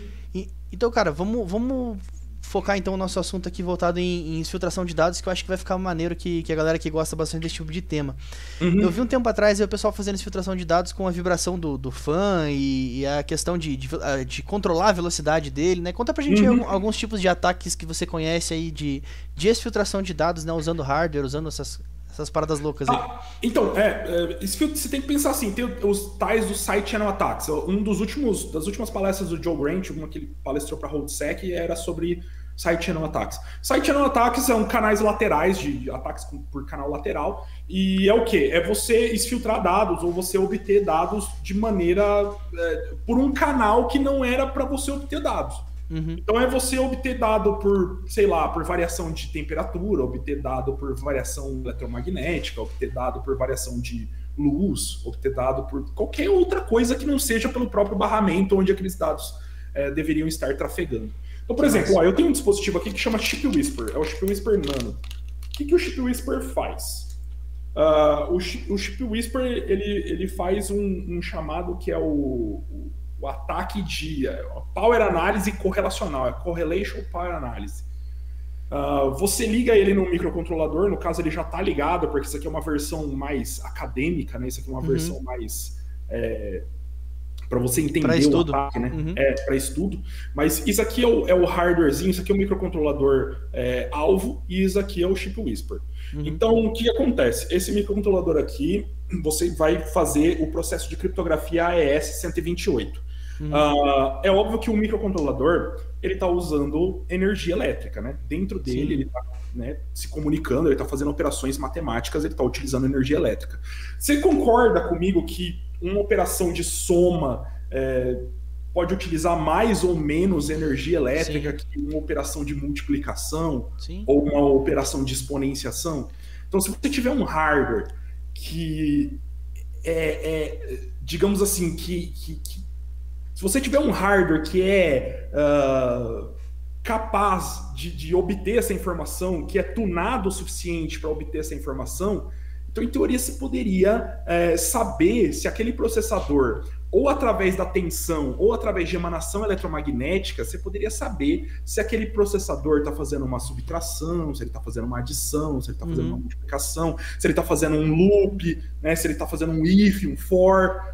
E é mais ou menos assim que funcionam esses, esses ataques, né? Que esses, maneiro. esses ataques de, de análise, né? De power análise. Aí nesse É, o- caso, nesse caso pela eletricidade, então não é Nesse caso, é o power análise, né? Que é, É, é- é força. a análise da, do consumo elétrico, né? Do consumo de energia. Mas tem o EM análise, né? Que é a análise eletromagnética. Então você pode louco. também fazer essa análise por emanação eletromagnética. Nesse caso, esse chip Whisper faz o, o power analysis. que Ele louco. faz cinco power analysis e correlational power analysis. Então ele vai fazer análise de consumo correlacional, né? Correlation é só, é só a conta que ele vai fazer, né? Ele Uhum. vai fazer estatística. Mas aí qual que é a ideia? A ideia é que com um hardware desse, que é tipo um, um osciloscópio tunado, né, para isso, simplesmente para isso, Uhum. você consiga, por exemplo, reverter uma criptografia. Então você consiga ali a chave privada de uma criptografia. Cara, e, cara, você consegue pegar a chave privada, que louco. Então você não vai É. quebrar, você não vai quebrar a criptografia, você vai, você vai ter a chave privada. Que louco. É, você consegue. É, porque você vai. É, para falar a verdade, mano, é um pouco mais complicado que isso. é, todo o ataque, mas se vocês quiserem dar uma olhada, tem, o, tem ah, várias palestras do Colin O'Flynn sobre isso, que foi o cara que fez Link- o Chip Whisper. Link tá aqui também. ó. É, que foi o cara que fez o Chip Whisper, né? Mas é, a ideia é a seguinte: ele consegue tanto reverter a criptografia quanto obter dados. E daí vai depender muito do processo como o código foi desenvolvido, vai depender muito de como os dados foram obtidos, mas via de regra você consegue obter esse tipo de informação, sabe? Dependendo de como foi escrito o código, você pode muitas vezes obter a chave privada, ou dependendo como foi escrito o código, você pode reverter a criptografia. Que maneiro. Saca? Mas daí vai depender do algoritmo ou vai depender também da maneira como o código foi escrito. Tá? Só para não falar merda aqui. Cara, e, e com, e com relação à escuta, é, quando a gente fala de é, da gente filtrar dados, né? Já a primeira coisa que vem na cabeça são dados dentro de um computador, mas é que nem a gente falou ali na- na- no começo aqui, né, sobre a questão da luz, né? O cara usar o laser lá pra, pra filtrar o dado. O que, que, você, que, que você tem aí de, de, de gadget maneiro aí pra esse tipo de coisa? Pra, Então, mano, ah, SDRs, né? Por exemplo, isso aqui é um. Isso aqui é um hack RF. Não sei se vocês já ouviram falar. Isso aqui é um SDR, é um hack definido por software. E o hack RF é um pouquinho mais caro que os, que- que os, que os SDRs mais comuns, ou tipo o RTL, SDR, no caso, porque ele é. ele transmite e recebe. E alguns SDRs mais comuns ele só recebe. Mas tá, tá no mesmo, o objetivo tá no mesmo. As coisas no mundo vibram. E a tua habilidade de reconhecer vibrações no mundo vai fazer com que você descubra falhas e descubra informações que você não deveria descobrir, tá ligado? Então, Entendi. quando a gente fala com pessoas, as nossas cordas vocais vibram, o ar em volta vibra e todos os objetos ah, ao nosso redor vibram também. Se você utilizar um laser, bater num objeto e refletir de volta para um, pra um receptor, esse laser, a Uhum. partir da vibração de um objeto, você consegue reconstituir o que eu estou falando numa sala. E você pode fazer isso a quilômetros de distância. Esse ataque, por exemplo, é, é- é utilizado pela NSA, tipo, sei lá, desde os anos 60. Que 70. loucura. E A gente achando que é coisa nova, né? Os caras lá em 70 já É, estavam. é. Inclusive, os caras usam esses, esses ataques de Tempest, né? Que, que os, os caras é, é, fazem transmissões, né? Fazem é, Uhum. Blindagens contra emanações espúrias, né, emanações eletromagnéticas espúrias. Isso é padrão da NSA. Isso, isso foi desenvolvido pela NSA, né? Que louco. Então, quando você fala que algo é tempest safe, né, que é tempest proof, quer dizer que é um objeto que ele é protegido contra emanação espúria. Então, quer dizer que quando você tem um laptop militar, um notebook militar, você vai ver que ele não deixa vazar. é, Por isso que ele é todo gigantão, todo. Exato, ele não É. deixa vazar é, ondas eletromagnéticas através dele. Que saca? loucura. Outra coisa que dá para fazer, por exemplo, ah, tem ataques de Tempest onde eu consigo apontar uma antena para o meu monitor e através de um software eu consigo ah, pegar aquela informação de, de, de- emanação espúria, emanação eletromagnética do meu monitor e remontar a imagem do monitor a metros de distância. Aí, ó, pra quem precisa de keylogger, né? Não precisa, você para na Exato. frente, para na frente com a Kombi lá. É, só que assim, cara, não fica, um, não fica assim bonito, né? Fica É. todo chiado, todo fudido. Só que você também pode usar um, um algoritmo de visão computacional para melhorar a imagem. Então tem, tem isso também.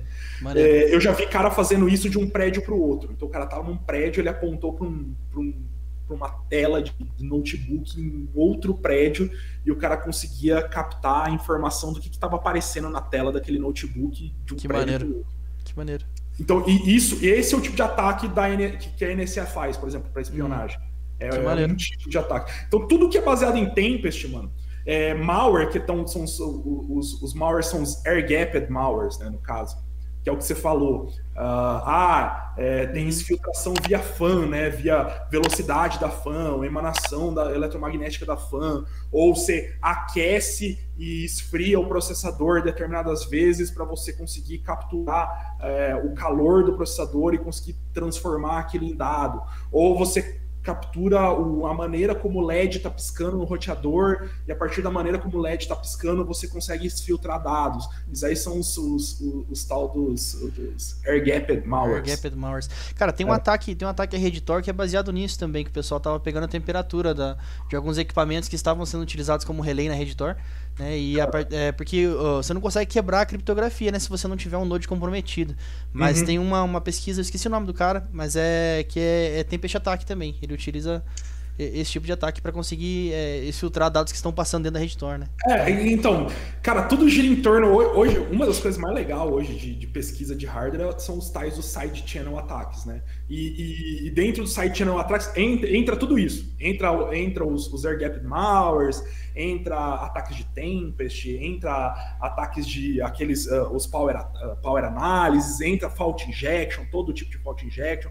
Então, é, é, side channel attacks é a palavra a palavra mágica para você que curte hardware, para quem quer se especializar nessa área, Maneiro. porque é algo que é tão é tão alienígena que o pessoal ainda não se ligou e ainda não tem mecanismo contra, e se tiver mecanismo contra também não é a coisa mais é, mais segura do mundo e tá meio longe dos caras começarem a desenvolver é, chips que são Tempest Safe ou que são, né, existem, só que são bem mais caros e mesmo alguns que se dizem é, chips Tempest Proof ou Tempest Safe, eles ainda não são, sabe? Uhum. Então tem, tem tudo isso no meio. Então essa área de hardware é um negócio meio maluco, sabe? Ah, mas é uma, A área de, área de segurança como um todo é maluca, né? É, é, é. E, e, é, e é basicamente essa é uma das áreas que eu gosto mais na área de hardware hacking, que é essa área de, de, de fault injection attacks. Que E maneiro. é algo que, cara, tirando pesquisa experimental, assim, dá para você atacar hardware. Tipo, Uhum. eu conseguiria comprometer hardware utilizando fault injection. Mas é aquele lance, é, é destruir um hardware, é, destruir um mosquito utilizando uma bazuca, no final das É. contas. E Cara- uma coisa legal, por exemplo, o que os caras fazem, desculpa te cortar aí, mano. Ah, o que, que os caras usam muito? Para desbloquear console. Hoje em dia, grande parte dos desbloqueios de console e em algum momento do desbloqueio do console, os caras usaram algum tipo de fault injection. Seja um reset glitch hack, seja algum tipo de, de reset no, J, no JTAG, ou algum tipo de fault injection eletromagnético, ou voltage fault injection, alguma coisa do tipo, os caras utilizaram para dampar o firmware ou para conseguir um local ali para para injetar alguma informação. Então, o fault injection é uma maneira de você criar falha onde não tem falha. Entendi. Porque pensa, mano, assim, o que, que dá para fazer com fault injection? Eu consigo skipar a instrução. Eu consigo transformar bits que eram 0 em 1. Um. Eu consigo uhum. fazer bits que eram 0 e deveriam ser 1 um, continuar sendo 0. Então eu consigo fazer freezing de instrução, skipping de instrução, uh, é, bit flipping de instrução. Então, é. no mínimo, fazer parar de funcionar a gente consegue. Você consegue parar de fazer, fazer parar de funcionar, você consegue subverter... No mínimo, negar serviço. É, você consegue, por exemplo, subverter um mecanismo de boot, de boot seguro. Uhum. Um mecanismo que está ali para falar assim: olha, você não consegue dumpar esse firmware, então eu consigo ali pular aquela instrução que está falando que eu não consigo dumpar o firmware, eu consigo passar direto para a área do firmware. Tem um, um, uma palestra que já é meio antiga na, da Echo Party, que o cara usa um ataque chamado de paparazzi ataque para fazer o dump de um firmware. Então é um firmware, tá dentro de um microcontrolador, é um microcontrolador seguro, né? Não, você não consegue dumpar o firmware dele.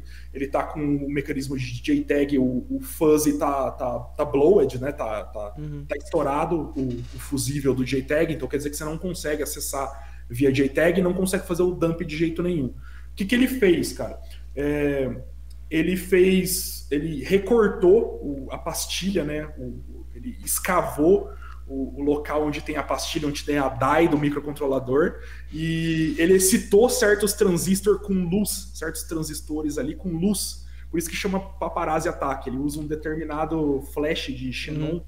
é, da máquina fotográfica. Que maneiro. E a partir do momento que ele usa aquele flash de Xenon, ele excita um transistor o transistor dá o gate lógico ali, ele dá a chave lógica, ele bate a chave e você consegue dampar um firmware que, em teoria, era impossível dampar por software. Que loucura.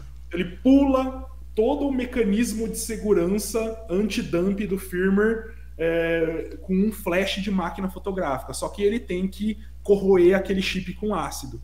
Então ele usa ácido para corroer o chip, para expor a DAI do chip e depois para conseguir utilizar o, o para conseguir utilizar a luz, né? Porque daí a, os fótons da luz excitam, né? O, o, o transistor e, e, ele fecha um contato ali no gate. É, que loucura. Cara, é assim, a gente pensando né, em ataques comuns, né, em relacionado à uhum. segurança da, da informação, geralmente os grupos de hackers e, e malwares e etc vão atacar a, o quesito computacional da coisa, né? Mas é massa essa conversa que a gente está tendo, porque aí a galera pode perceber que existem infinitas possibilidades, né, de coisas que a gente nem imagina que podem ser hackeadas e podem estar exfiltrando dados, inclusive, né? Pô, a gente usou o exemplo da, o, o Júlio falou aí da, da luz ali, do, da exfiltração de dados por, por vibração e tal. Sim. Né? Então, tanto que se você pegar hoje é, em, em é, teve o concurso da, da BIM em 2018, se eu não me engano, né? se você uhum. pegar a, a a grade lá do, do concurso, né, o edital do concurso, você vai ver que tem, é, tem inclusive, tinha inclusive vagas para pessoas trabalharem com questão é, de, de, de, patrimonial, né, de fazer segurança, de, de patrimonial, segurança, inclusive, é, já, já ouviu falar de salas, salas seguras, por exemplo, né, lá na, você pega a, sala, a, a Casa Branca lá, tem a, a sala oval lá, ela é segura uhum. até inclusive contra vazamento de dados, né, porque tem um profissional que faz, né, o que o Júlio faz por trás, que pesquisa esse tipo de, de assunto para impedir que dados sejam vazados, dados e coisas sejam comprometidas. Conta pra gente um pouco, Júlio, com relação às possibilidades aí de, de trabalho além, né, da, de, de você... Uh, na área de segurança a gente tem várias áreas que a galera já conhece, mas na área de hardware, quais são, quais são as possibilidades de se trabalhar com hardware hacking hoje? Além disso, né, que a gente falou aí de vazamento de dados e tal. Cara, pra falar a verdade, o hardware hacking ele vem como um, um, um complemento, um suplemento para diversas áreas. Então, se você trabalha com web, hardware hacking vai vai te auxiliar numa série de funções, porque você vai ter sistemas web rodando embarcados, então é uma possibilidade. Se você trabalha com eletrônica e desenvolvimento de, de sistemas eletrônicos, não, você é um engenheiro eletricista, ou você é um engenheiro eletrônico que trabalha com desenvolvimento de protótipo, desenvolvimento de hardware, e daí entra em toda a questão da indústria, tanto envolvimento tecnológico, automobilístico, aeroespacial, foda-se, qualquer coisa Uhum. Você sempre vai ter um quesito de segurança, tanto segurança física quanto, quanto segurança lógica, vai estar sempre presente. Então, hardware hacking vai te ajudar numa série absurda de coisas. É um, é um ponto a mais, talvez não seja algo é, específico, focado, que você vai trabalhar só com isso, mas é um set, é um, é um skill no seu set de conhecimentos. É algo que você É. deveria ter e que vai é, buildar, né, que vai incrementar o seu set de conhecimento. Cara, é, questão de espionagem, né, na questão de espionagem industrial, né, nessa questão de segurança de patrimônio, ou, enfim, vamos supor, é, você como é, trabalha ali para um, fins governamentais, você é um agente da BIM, por exemplo. Tá sei. contando, tá contando pros outros, então, aí. Não, não. É. Vamos supor que você precisa assegurar que uma reunião entre membros do governo não, não exista vazamento ali. Uhum. Como é que você vai assegurar isso? Como é que você vai assegurar que não tem nenhum gravador ali? Como é que você vai assegurar que não tem nenhuma câmera? Como é que você vai assegurar que aquela sala ela é hermeticamente é, fechada, né? Que não tem vazamento eletromagnético, que não Sim. tem vazamento de áudio? Tem, tem, tem todos esses pontos que você pode utilizar, né? É, Tanto governamental, militar, cara, aplicações militares disso são absurdas também. Sim, é claro sim. que eu não sou militar, então, mas para setores de inteligência do exército, né, para né, questões tecnológicas e de comunicação do exército, isso deve ter aplicações incríveis também. É, aí você teria que chamar alguém do exército, né, focado nisso, em desenvolvimento bélico e coisas do tipo. É algo muito além do que a gente está aqui, né, algo do Uhum. que a gente está conversando. Mas pense aí, cara. Quantos setores de segurança governamentais existem no mundo e o que, que esses caras fazem, né? É, é uma algo que é muito além do que a gente está falando aqui, mas que provavelmente envolve vários tipos de ataques de hardware e provavelmente envolve uma série de, de noções de segurança de hardware. É, não é por isso, não, não é à toa que quem desenvolveu esse padrão Tempest foi a NSA há É, né, décadas atrás. Sim, Né? é, é quem tem interesse né, em proteção de dados, né? E não, não, não no nível é, empresarial, mas a gente já está entrando no nível mais governamental, né? De dados Pode onde a gente ser. fala de segurança, de soberania nacional, né? É, pode ser de, de qualquer coisa, cara. Você pode pensar desde, sei lá, de, de assegurar que o seu roteador não vai vazar informações, desde assegurar que o teu satélite de informação que, que transmite informação estratégica não vai vazar informação para outros países. Então, tipo, você tem é, hardware é. Pensa assim, mano. Tudo, tudo que você usa hoje tem hardware dentro, tem Uhum. microcontrolador Sim. dentro. Então você está só descendo o nível de abstração. Porque, convenhamos, hoje em dia a gente trabalha em cima do monte de abstração. Ninguém sabe de fato como é que funcionam as coisas hoje. Então, eu, acredito que o fato de você descer algum- alguns degraus na abstração vai ser benéfico para a segurança. Porque quanto mais Sim. degraus de abstração você desce, é, menos mecanismos de segurança são implementados. Então, a hora Sim. que você chega quase ali na- na- no domínio da física ou no domínio da engenharia elétrica, de fato, é, tem pouquíssimos, pouquíssimos mecanismos de segurança que podem ser de fato implementados. Sim. Porque você começa a brigar com a física, cara. É. Tipo assim, não existe uma maneira ah, viável é, de eu, assim, eu não consigo brigar com Deus, tá ligado? Ou no É, caso, isso mesmo. ciência. Sabe? Eu não consigo fazer. é, tem maneiras limitadas de eu fazer. é, a, a energia, tipo, assim, num lugar onde vai ter corrente, vai ter campo elétrico. Você entende? Não tem como não ter. Aí a gente tá voltando num, num assunto que eu tenho pegado no pé sempre da galera, que é a questão de conhecimento de base, né? Porque aí o cara quer, quer ser pentester, quer ser hacker, quer É, o trabalhar cara com. quer pular lá pra cima. É, então isso aí o cara quer subir a escada direto no último degrau da escada, tá ligado? Então, Por outro lado, também, cara, é, é muito difícil. Eu, eu, eu, eu penso assim, beleza, é legal você ter um conhecimento de fundamentos, é muito legal, vale muito a pena.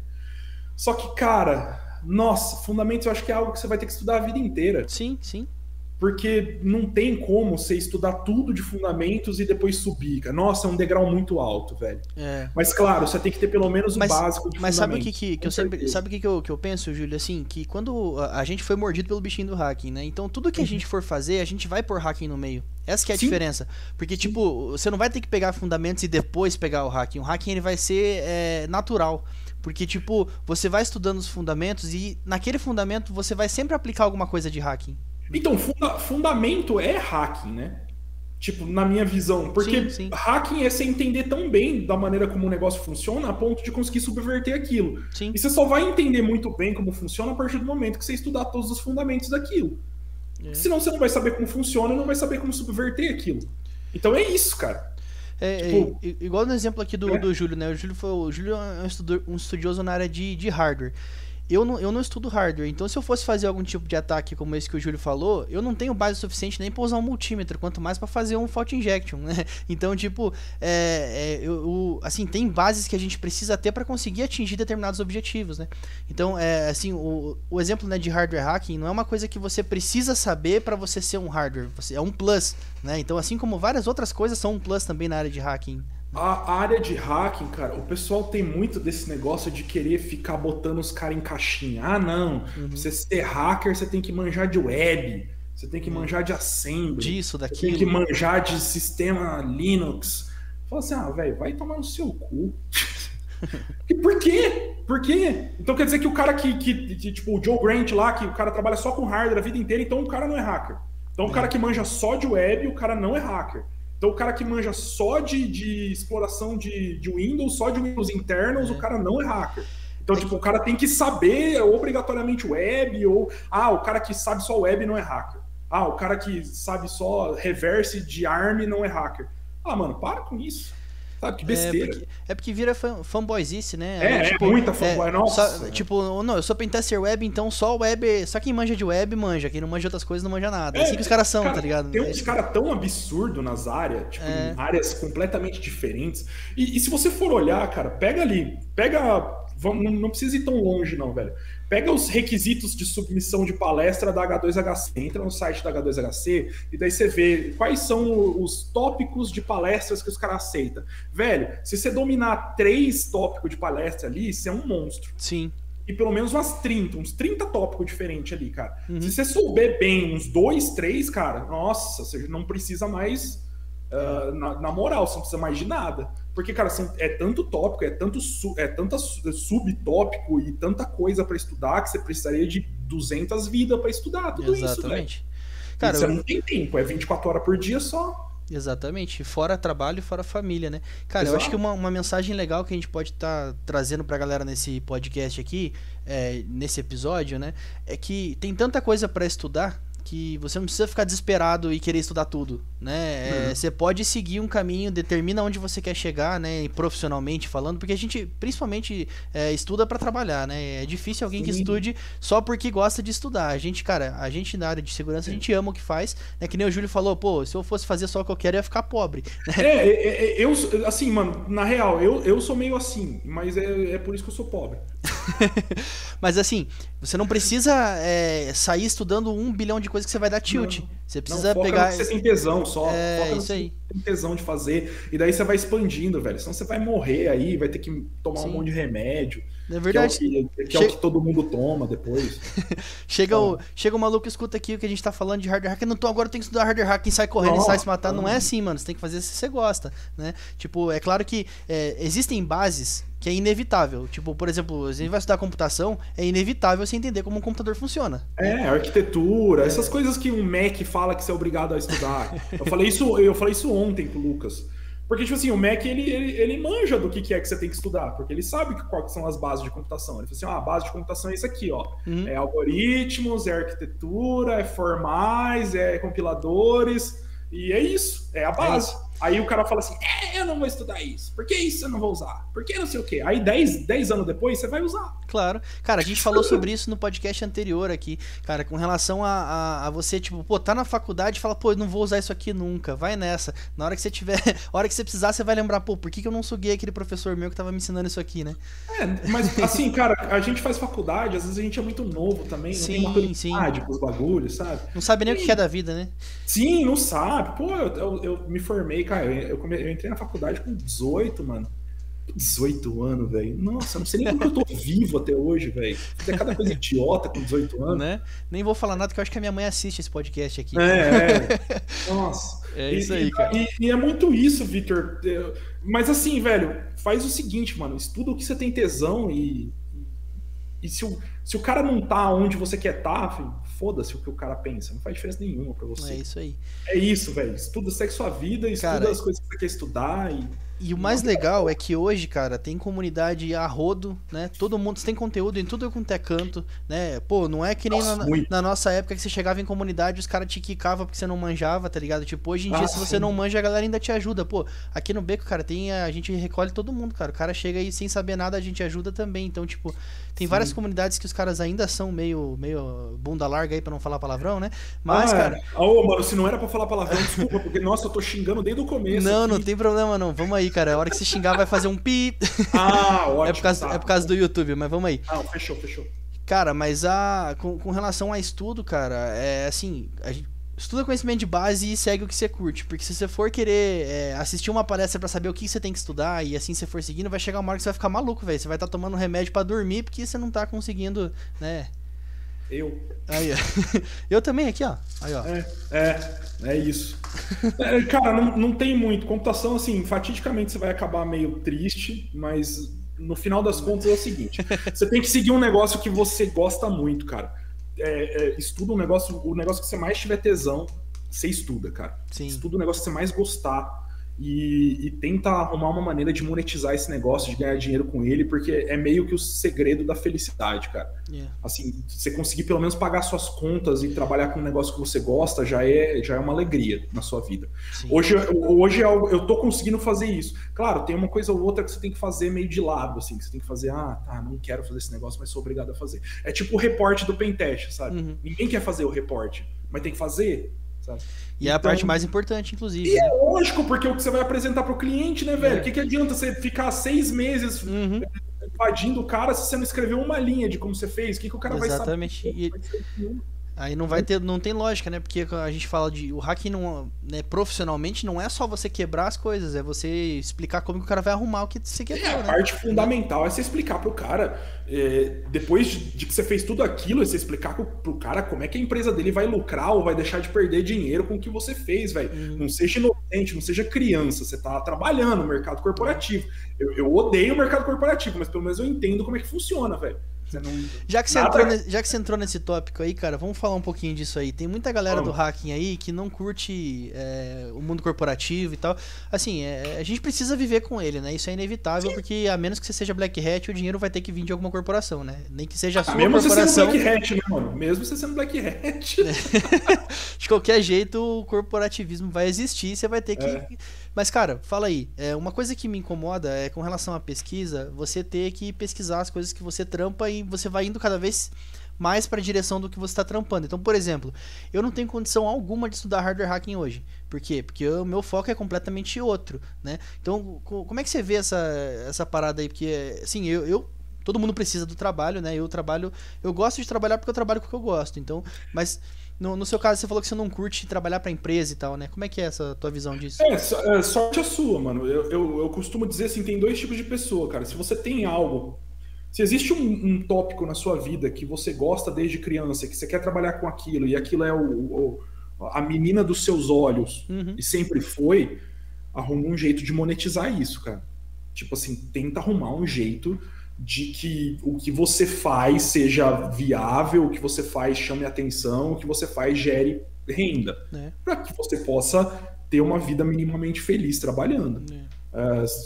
É, assim, gostar de algo e trabalhar com outra coisa é uma das piores coisas do mundo. Sim, mano. Sabe? Todo mundo passa por isso, né? Ninguém começa a trabalhar Exato. já direto com o que ama, né? Exato. E, e- e é o que eu tento falar pro pessoal. Eu falo assim, cara, é, não, não, não se oriente por dinheiro, sabe? Tenta não se orientar por dinheiro. Mas, assim, é, veja aí, cara, o que, que você pode definir um meio termo entre ganhar dinheiro e fazer o que você gosta. Tem gente que consegue suportar é, fazer algo que não gosta muito e ganhar um pouco. Tem gente que não consegue suportar fazer algo que não gosta. E tem gente que é meio porra louca que faz o que gosta e não importa o dinheiro, tipo o Joe Grant. O Joe Grant lá, numa palestra que eu assisti uma vez, ele falou assim, cara, eu prefiro eu prefiro comer comida de cachorro do que trabalhar com uma empresa. Ele falou isso na palestra, na Road 7. uma Caramba. É, ele falou isso, ele falou com todas as letras. Ele falou, cara, eu prefiro, eu prefiro comer comida de cachorro do que trabalhar com uma empresa grande. Por isso que eu abri a minha empresa e eu nunca trabalhei para ninguém. É isso. Que Só que assim, existem empresas legais, sabe? Claro. Tem gente que é legal. ah, tem, tem ambientes menos tóxicos, sabe? Sim, tem claro. empresas mais interessantes. O que geralmente torna o- a- a- a- as empresas tóxicas são as próprias pessoas, né, cara? Sim, e Não pessoa vai ter em qualquer lugar, né? Exato. Cara, mas assim, é, com relação ao que a gente faz, é, o nosso trabalho é, é difícil, né? Com segurança da informação, né? É, principalmente Uhum. para segurança ofensiva. O mundo corporativo é difícil porque, assim, o nosso trabalho é encontrar falha no trabalho dos outros. Então é, É. é, é- difícil. vão sempre te odiar, né? Exato, né? Aí os caras veem a galera de segurança como blocker, né? Que bloqueia as coisas.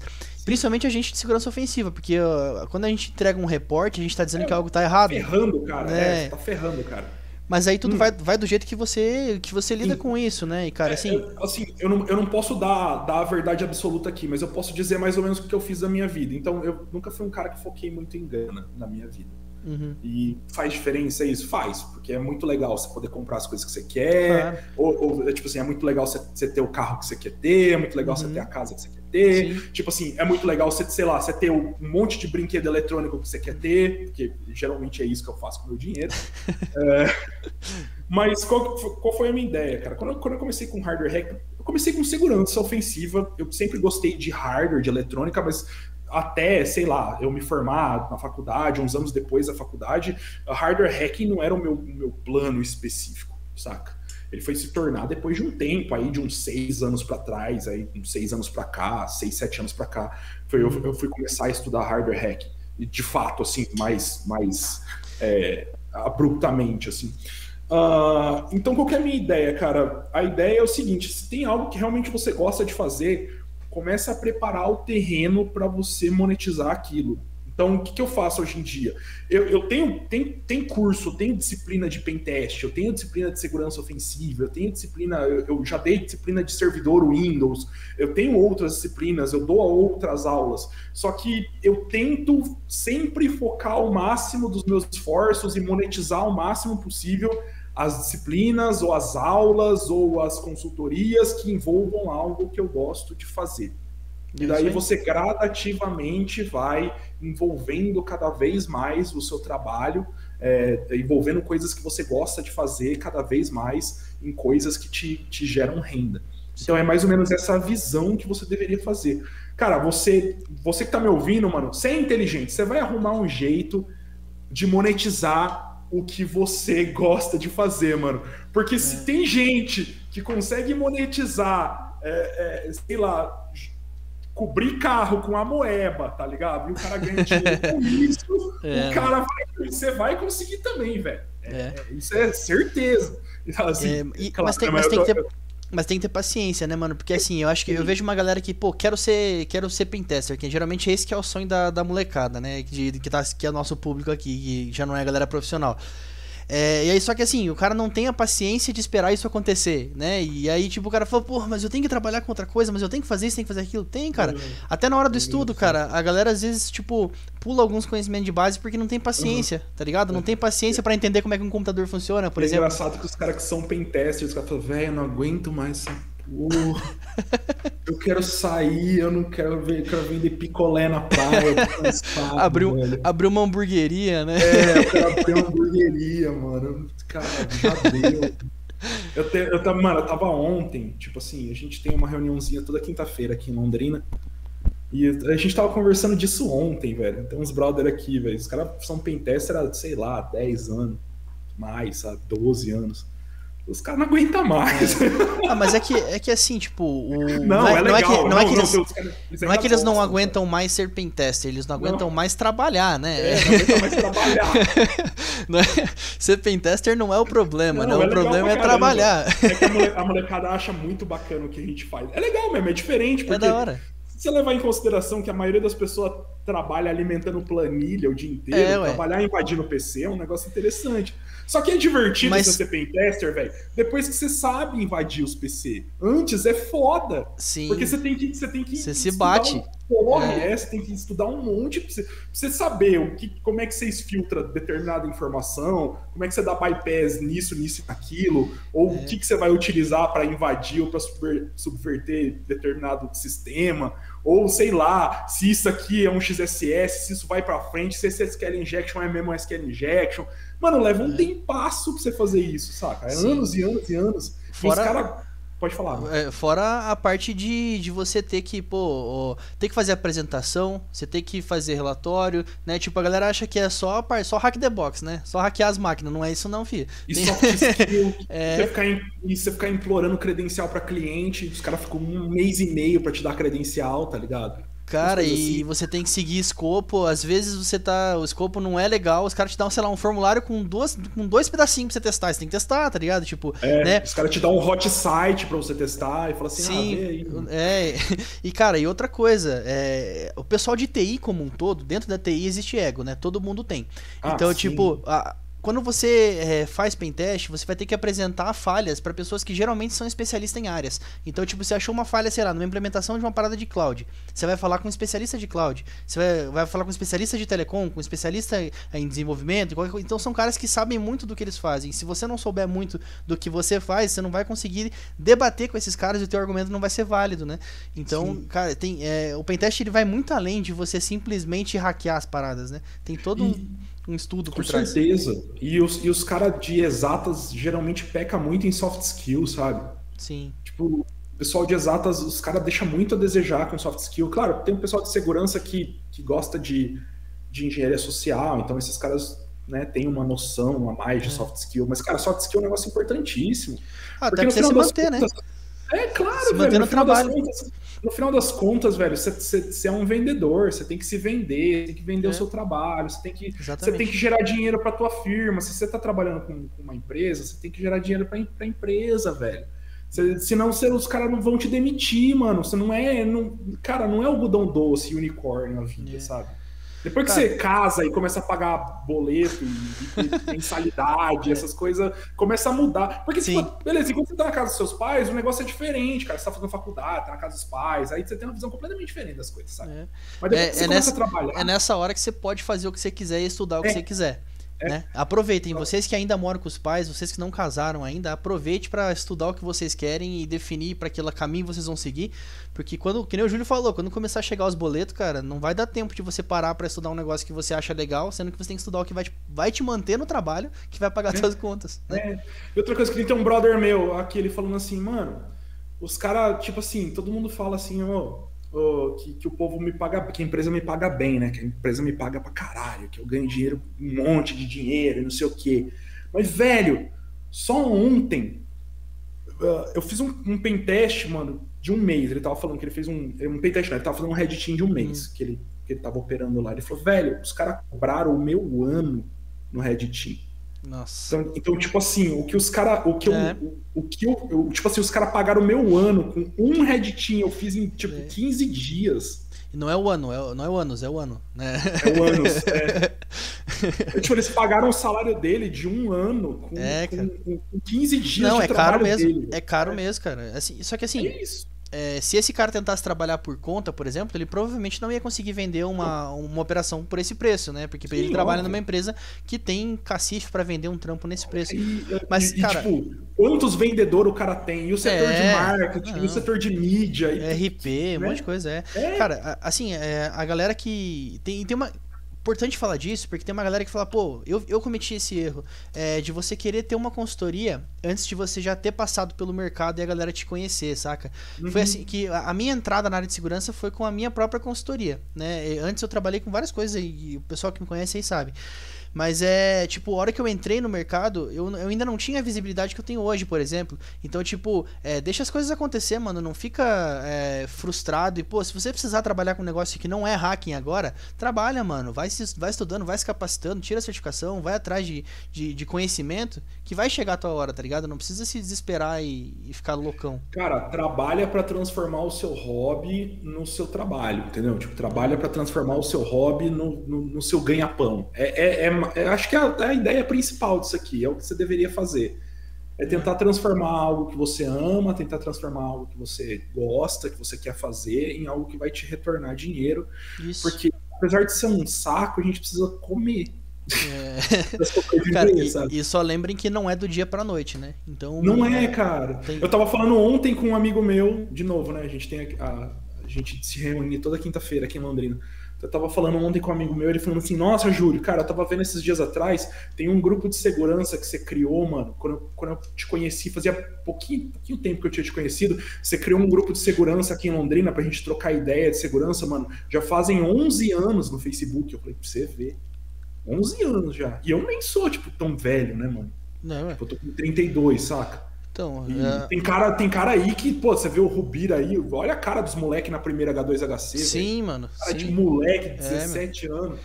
É, eu, eu também não sou, eu também não sou velho, não, tô com 30. Mas assim, você pode reparar que a galera começa a, a, a ter uma maturidade, tanto financeira quanto profissional, né? De estabilidade do que gosta de fazer, perto dessa idade. Então, ah, tipo, de 30 pra frente. É, né? os caras aí de 20 anos desesperado porque não tá trampando como pentester ainda. Cara, calma, né, mano? Relaxa que vai chegar a hora, mano. Vai longe, mano. Eu É. diria que é assim, cara. Você vai começar a dar uma estabilizada na sua vida lá pelos 30 anos. Pelo menos foi isso que aconteceu com a minha, sabe? É, para começar que tem aquela fita lá da crise dos 20, né? Que o cara vai até uns 23, 24 lá sem saber o que vai fazer da vida, né? Acho Ah, que todo é, mundo passa uns- por isso. é, eu fui até uns 25, meio, meio estranho, assim. meio- É. Aí hora. Eu, eu fui um pouco antes porque a água começou a bater na bunda antes, mas. É, né? Aí tem, tem gente que, que até hoje não sabe o que quer fazer da vida, né? Mas é, eu acho que uma grande mensagem hoje aqui é que tem tanta coisa pra estudar que se você quiser estudar tudo, você vai ficar louco. Então vai com calma. Ah, com certeza. Eu, foi um dos motivos de eu ter caído pro meio acadêmico, cara, porque era algo que eu achava o, o menos penoso possível para trabalhar. Então, tipo, tudo que eu tinha aqui em Londrina na época, tu- to- todo o trampo que, que, que me era oferecido aqui em Londrina na época, eu achava um saco, eu não queria. E o que eu achei menos penoso na minha vida e o que eu tinha mais interesse era a docência. Então eu sempre caí para docência. Eu sempre Uhum. gostei. Porque. Por causa né, da pesquisa, falo- né? é, eu falo mais, né, Mike, falo pelos cotovelos, um, um- um ponto Nós. positivo, né, que eu falo muito e eu tenho, tenho- eu sou relativamente desinibido para falar, então é um ponto positivo como professor, né, você tem uma boa oratória e tal. Ah, então, na época de apresentar trabalho na sala, eu era o cara que gostava de apresentar o trabalho, curtia apresentar. eu também. É, É, perfil de professor, né, mano? Professor é, tem essa. perfil de professor. Eu Então, também. ah, acabei caindo para docência porque todos os outros trampos que me eram oferecidos eu tinha vontade de morrer.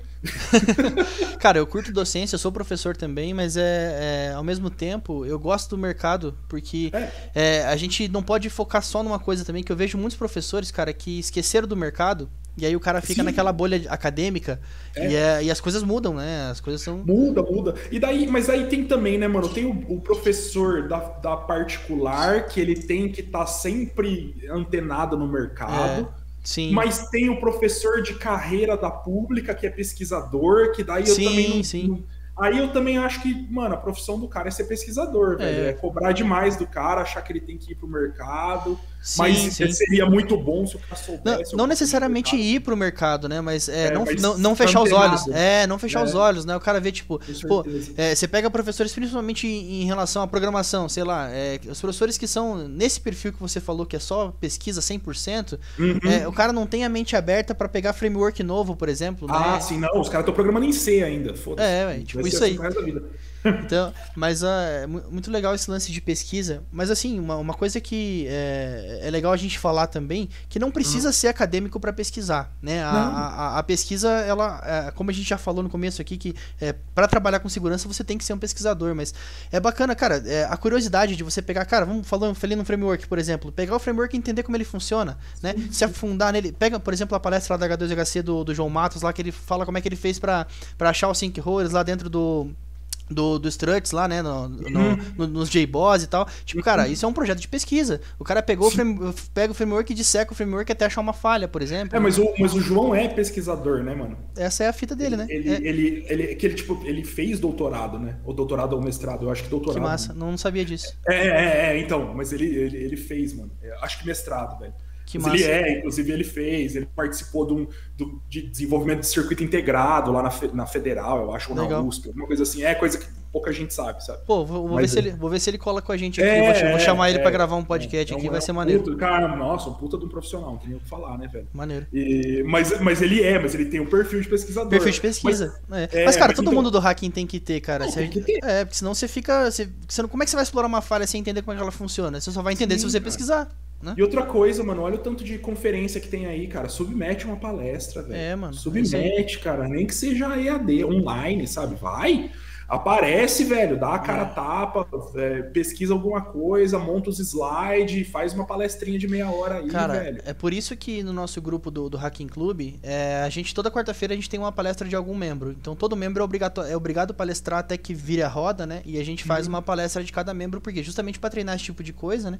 E a gente, tem, a gente tem o nosso próprio evento privado. Então, ou seja, você não precisa necessariamente é, palestrar num evento gigante já de cara. Você pode começar entrando nas comunidades, conhecendo a galera, fazendo palestra para pequenos grupos, né? Pro- promove pequenos grupos onde você mora, né? Com pessoas que da sua Sim, faculdade. sim. Isso, isso é uma coisa que faz crescer também. Você é, promover comunidade, não simplesmente sugar, né?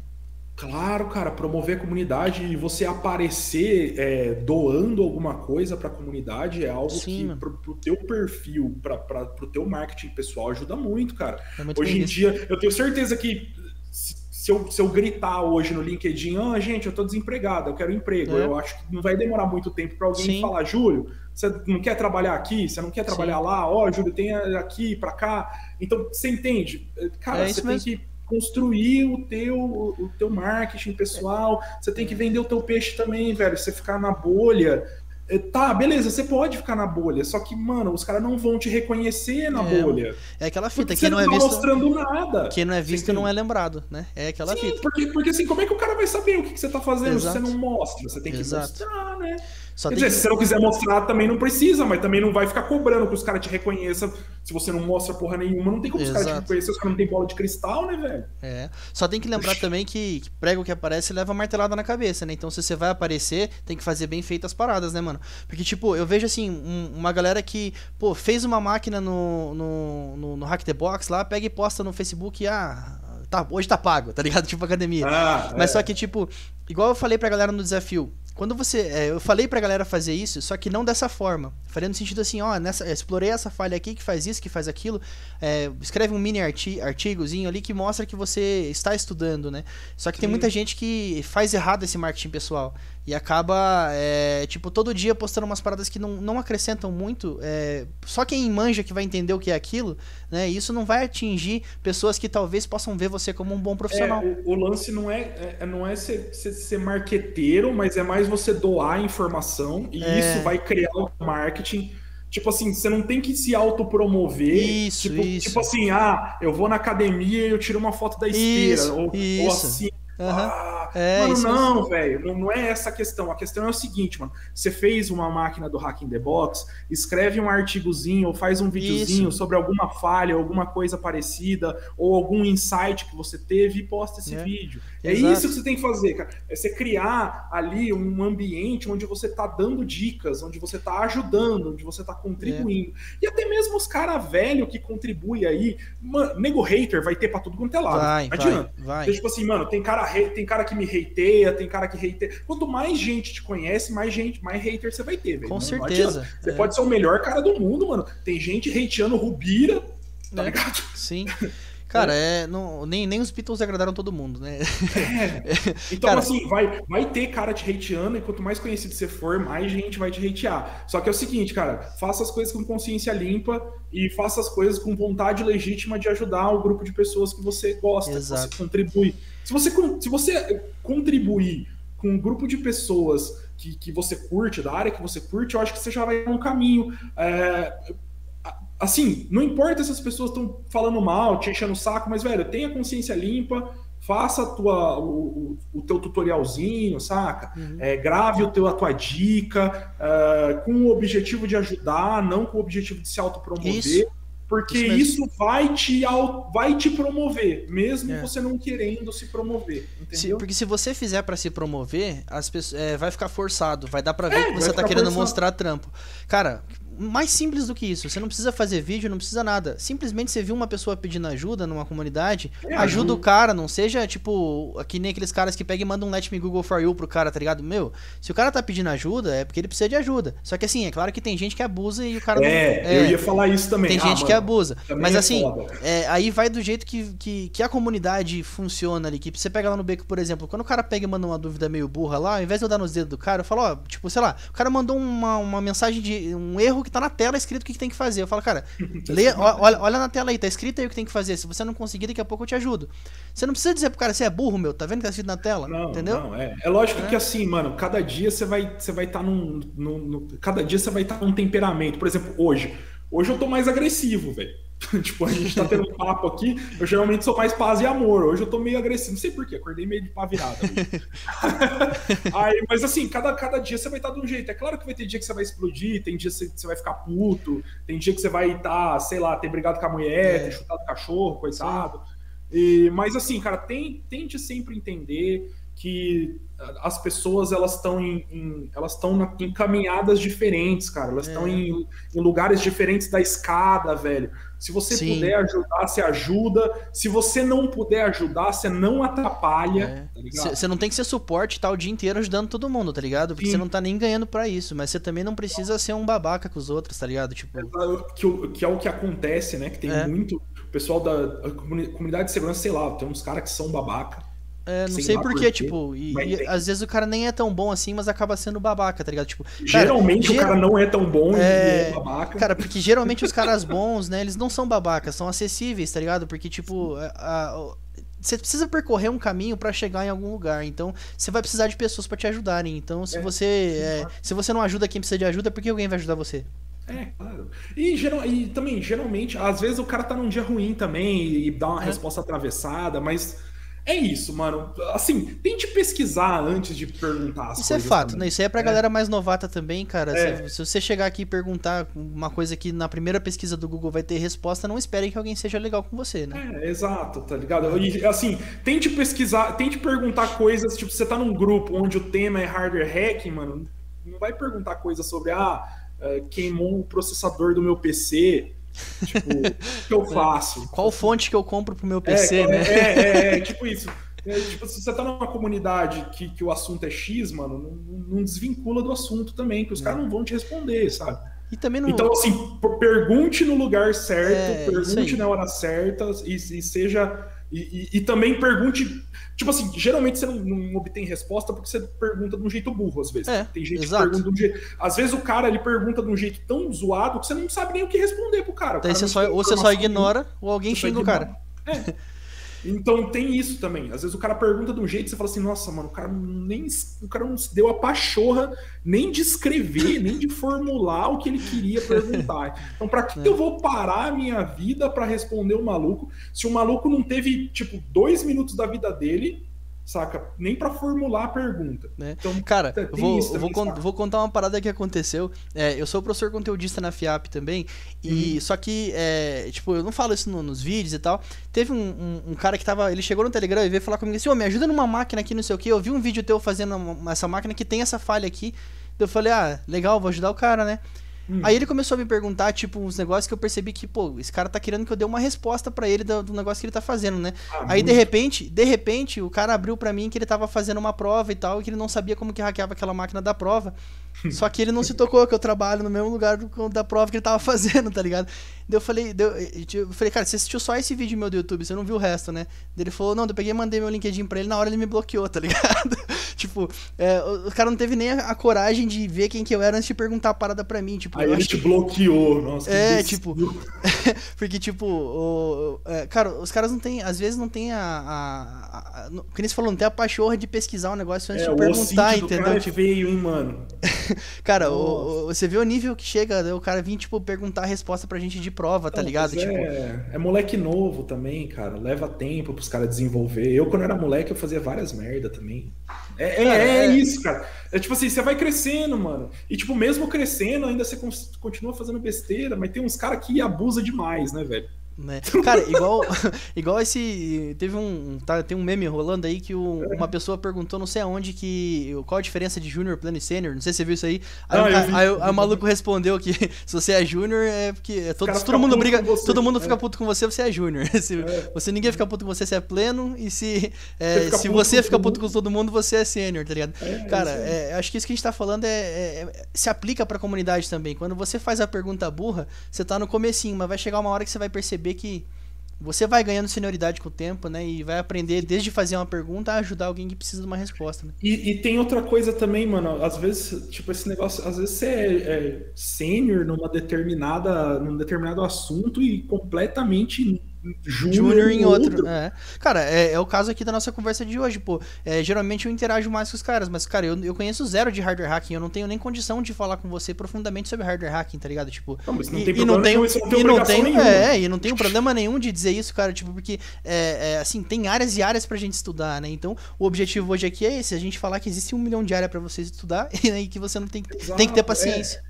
É. O que me irrita é, é o maluco cagando regra de o que, que é hacking e o que, que não é, tá ligado? E É. isso é um negócio que me irrita, sabe? Do, do cara na comunidade falando, Mas ah, não, é, web não é hacking. Ah, compilador não é hacking. Ah, hard... Eu nunca vi ninguém falando que ah, hardware não é hacking, porque, tipo, hardware é meio que o, o que lançou o hacking, né? Tipo, Né. é meio que a- Então, Mas assim, mas deve ter alguns caras que mas pra deixar claro, então, pro pessoal que hacking é só assistir Mr. Robot, que já é o suficiente pra ser É, hacker. já, já é. É bom. Tem vários outros negócios legais no Mr. Robot também, mano. Tem vários. Não, Vixe, várias A ideias. gente, então, a também. gente brinca assim, porque, tipo, É, virou, um sinônimo, virou um sinônimo de zoeira. Mas é claro que, pô, a série é legal pra caramba, cara. Se Não, você, é, ata- claro, ataque- velho. ataques completamente possíveis e tal. Inclusive, o pessoal pegou, pegou a comunidade pra ajudar, né, na- no roteiro.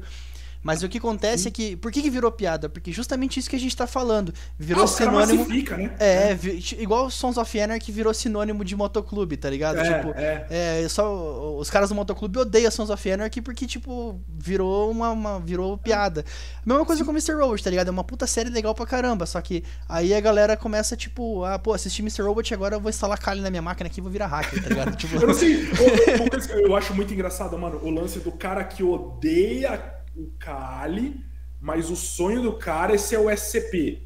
Aí é um bagulho que não é, tipo, cabe não, na não, minha não, não, cabeça. não, não dá pra entender, né? Assim, mas, mano, pera, pera, pera, pera. Véi, você não. Tá, tem alguma coisa de errado com o que você tá falando aí, velho. É. O cara paga um pausaço pra certificação da, da Offensive Security, mas o cara odeia o cara. É, é isso aí. Mas é que acontece. é porra do, do- do sistema, mano. É que acontece é o seguinte, mano. Tem uns caras que são hater de sistema operacional, né? É, Aí é, fica nessa briguinha de um Linux é melhor que o outro. Cara, igual aquela fita quando saiu o System D lá e. o- Ah, é. Ah, e os caras ficam tretando porque, ah, que não sei o que. Cara, o, o- esquema é o seguinte: se- você não tem que usar o Kali como teu sistema operacional do dia a dia, tá ligado? Você vai usar ele pra trabalhar numa máquina virtual ou que seja num live CD, tá ligado? Acho que os É. caras, os caras reclamam por isso, porque tem gente que pega e mete o Kali como sistema operacional, passa dois dias e o Kali quebra. Por quê? Porque ele não é feito pra você usar como sistema operacional, tá É, ligado? ainda agora que tá com os rolling release ainda não tá tão ruim, mas ainda É. quebra tudo. Outra coisa, não, mano, isso aí é, sempre foi. O, o- o- maluco que gosta de tretar por nada, ele sempre vai fazer isso. Eu É. vejo o cara tretando entre VI e IMAX, tá ligado? Não, porque o IMAX é isso, não, porque o VI é isso. Aí tem um maluco, É. não, mas eu gosto do Nano, não, Nano é com GNUB. E, e fica nessa, e daí o outro maluco vai e treta por causa de Grub e Lilo, não porque eu gosto de Lilo, não porque eu gosto de Grub, e outro treta por causa de Bash, e. Ah, mano.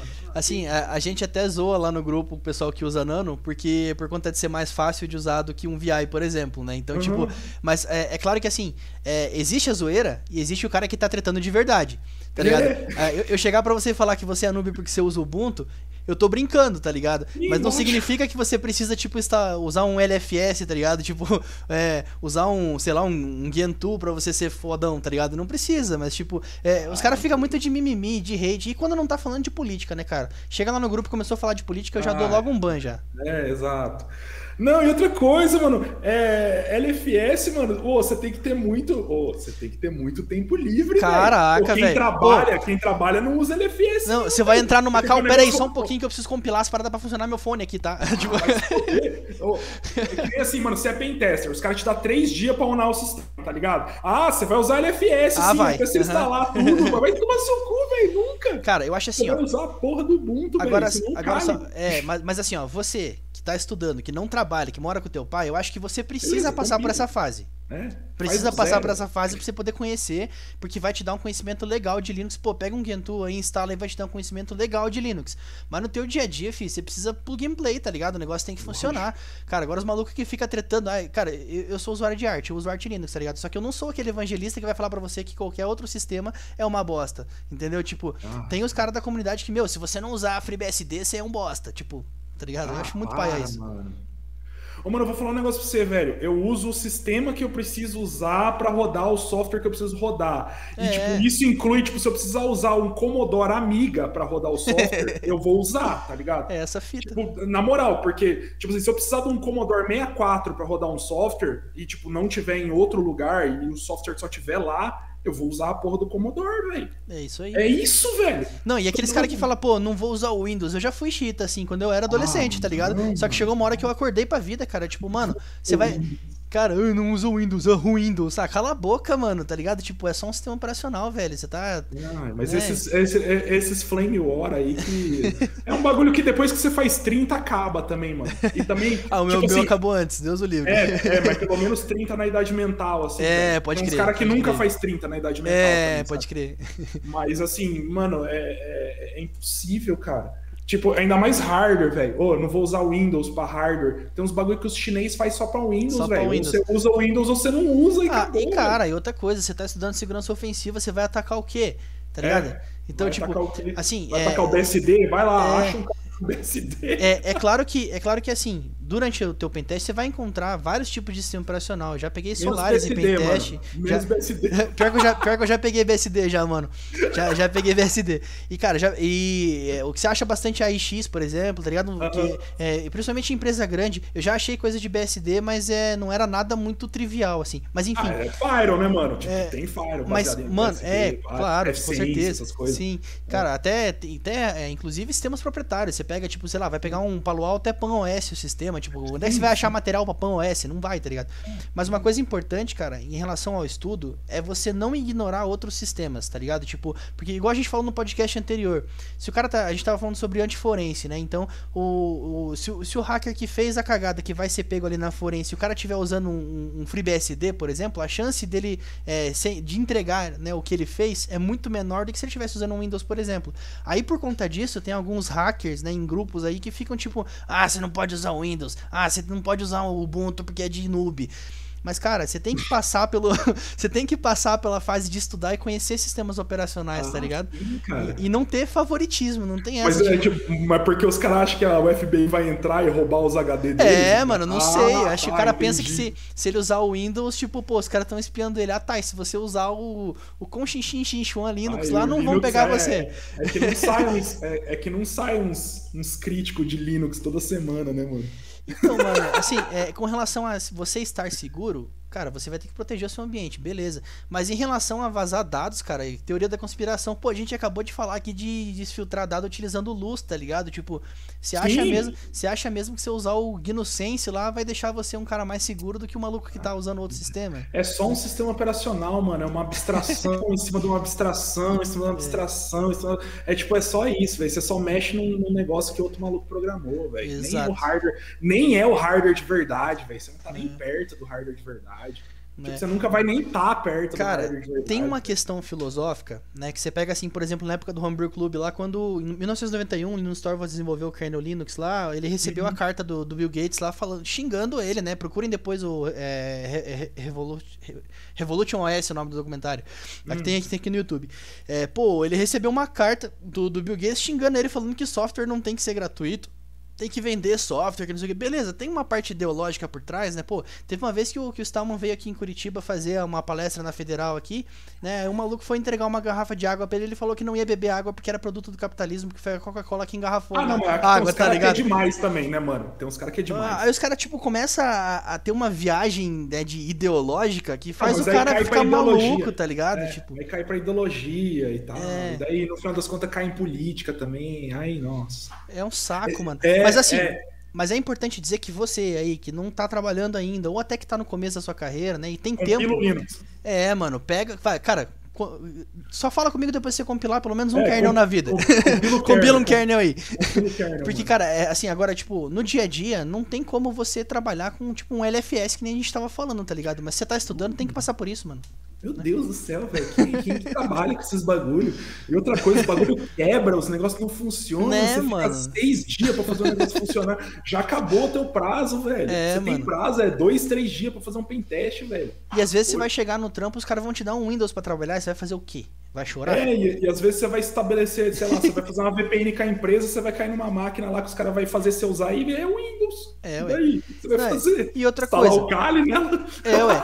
Cara, tem uma parada chamada No Low Hang Fruits, né? Que é você fazer o hacking aí sem pegar as frutas baixas aqui. É uma parada tipo você é, explorar misconfiguration e conversão de usuário, etc. Enfim, muito voltado pra hacking em redes Microsoft, né?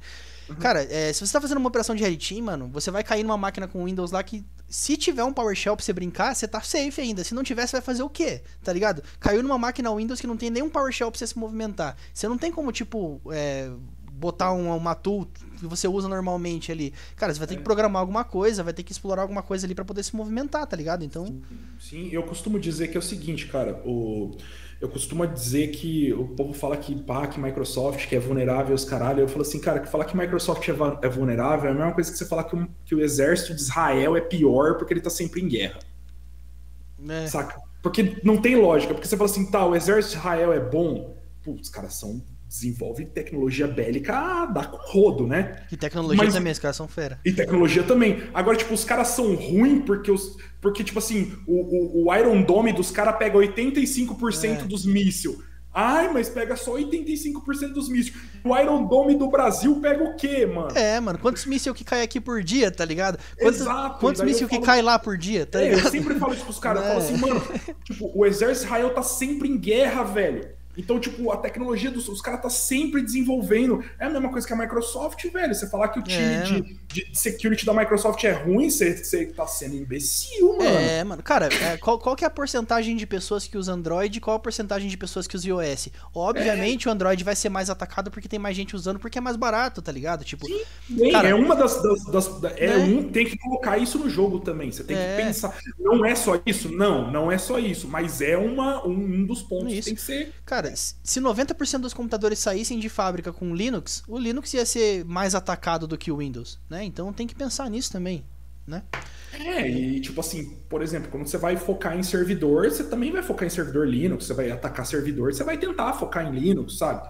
É. Tipo, dependendo do tipo do servidor, é lógico, tem servidor Windows pra caramba também, mas Sim. ah, você quer, sei lá, focar num banco de dados, num Oracle da vida, geralmente vai rodar em cima de um Linux, então você É. vai ter que atacar um Linux também. No final das contas, velho, você tem que ta- atacar tudo, É. tudo que você conseguir, mas se especialize em alguma coisa que você gosta mais, velho. Só isso. Aí- só que aí que tá, cara, o especializar, ele vem depois que você já sabe muito de alguma coisa. Sim, é, o conhecimento Né? basilar daquilo. aí Isso, cara, vai- o que eu vejo muito, cara, porque assim, a gente, é, pô, eu faço mentoria de uma galera, tem mais de 1.400 pessoas no grupo ali, Uhum. e eu vi, tem, e tem vários grupos privados também, e eu vejo que uma galera que tá começando, às vezes o cara ele já quer se especializar, mas mano, pra você se especializar, você tem que estudar um monte pra você entender o que que existe, pra você ver pra que caminho você vai seguir, tá ligado? É, os caras têm que entender, velho, que você constrói o telhado depois de construir a casa, né? Exato, né? Não tem como você construir o telhado antes É, de é. construir a fundação. E você Então, tem vai tem que fazer o planejamento. você não sabe. Exato. Pois tem que fazer um planejamento da casa primeiro. Você não vai simplesmente sair construindo. Você não, o pedreiro não chega e vai botando os tijolos. Primeiro alguém tem que fazer o desenho daquilo. Cara, tem um processo que tem que ser seguido, né? Então, quando Com você certeza. pula esse processo, a chance de você ser um péssimo profissional é, é grande.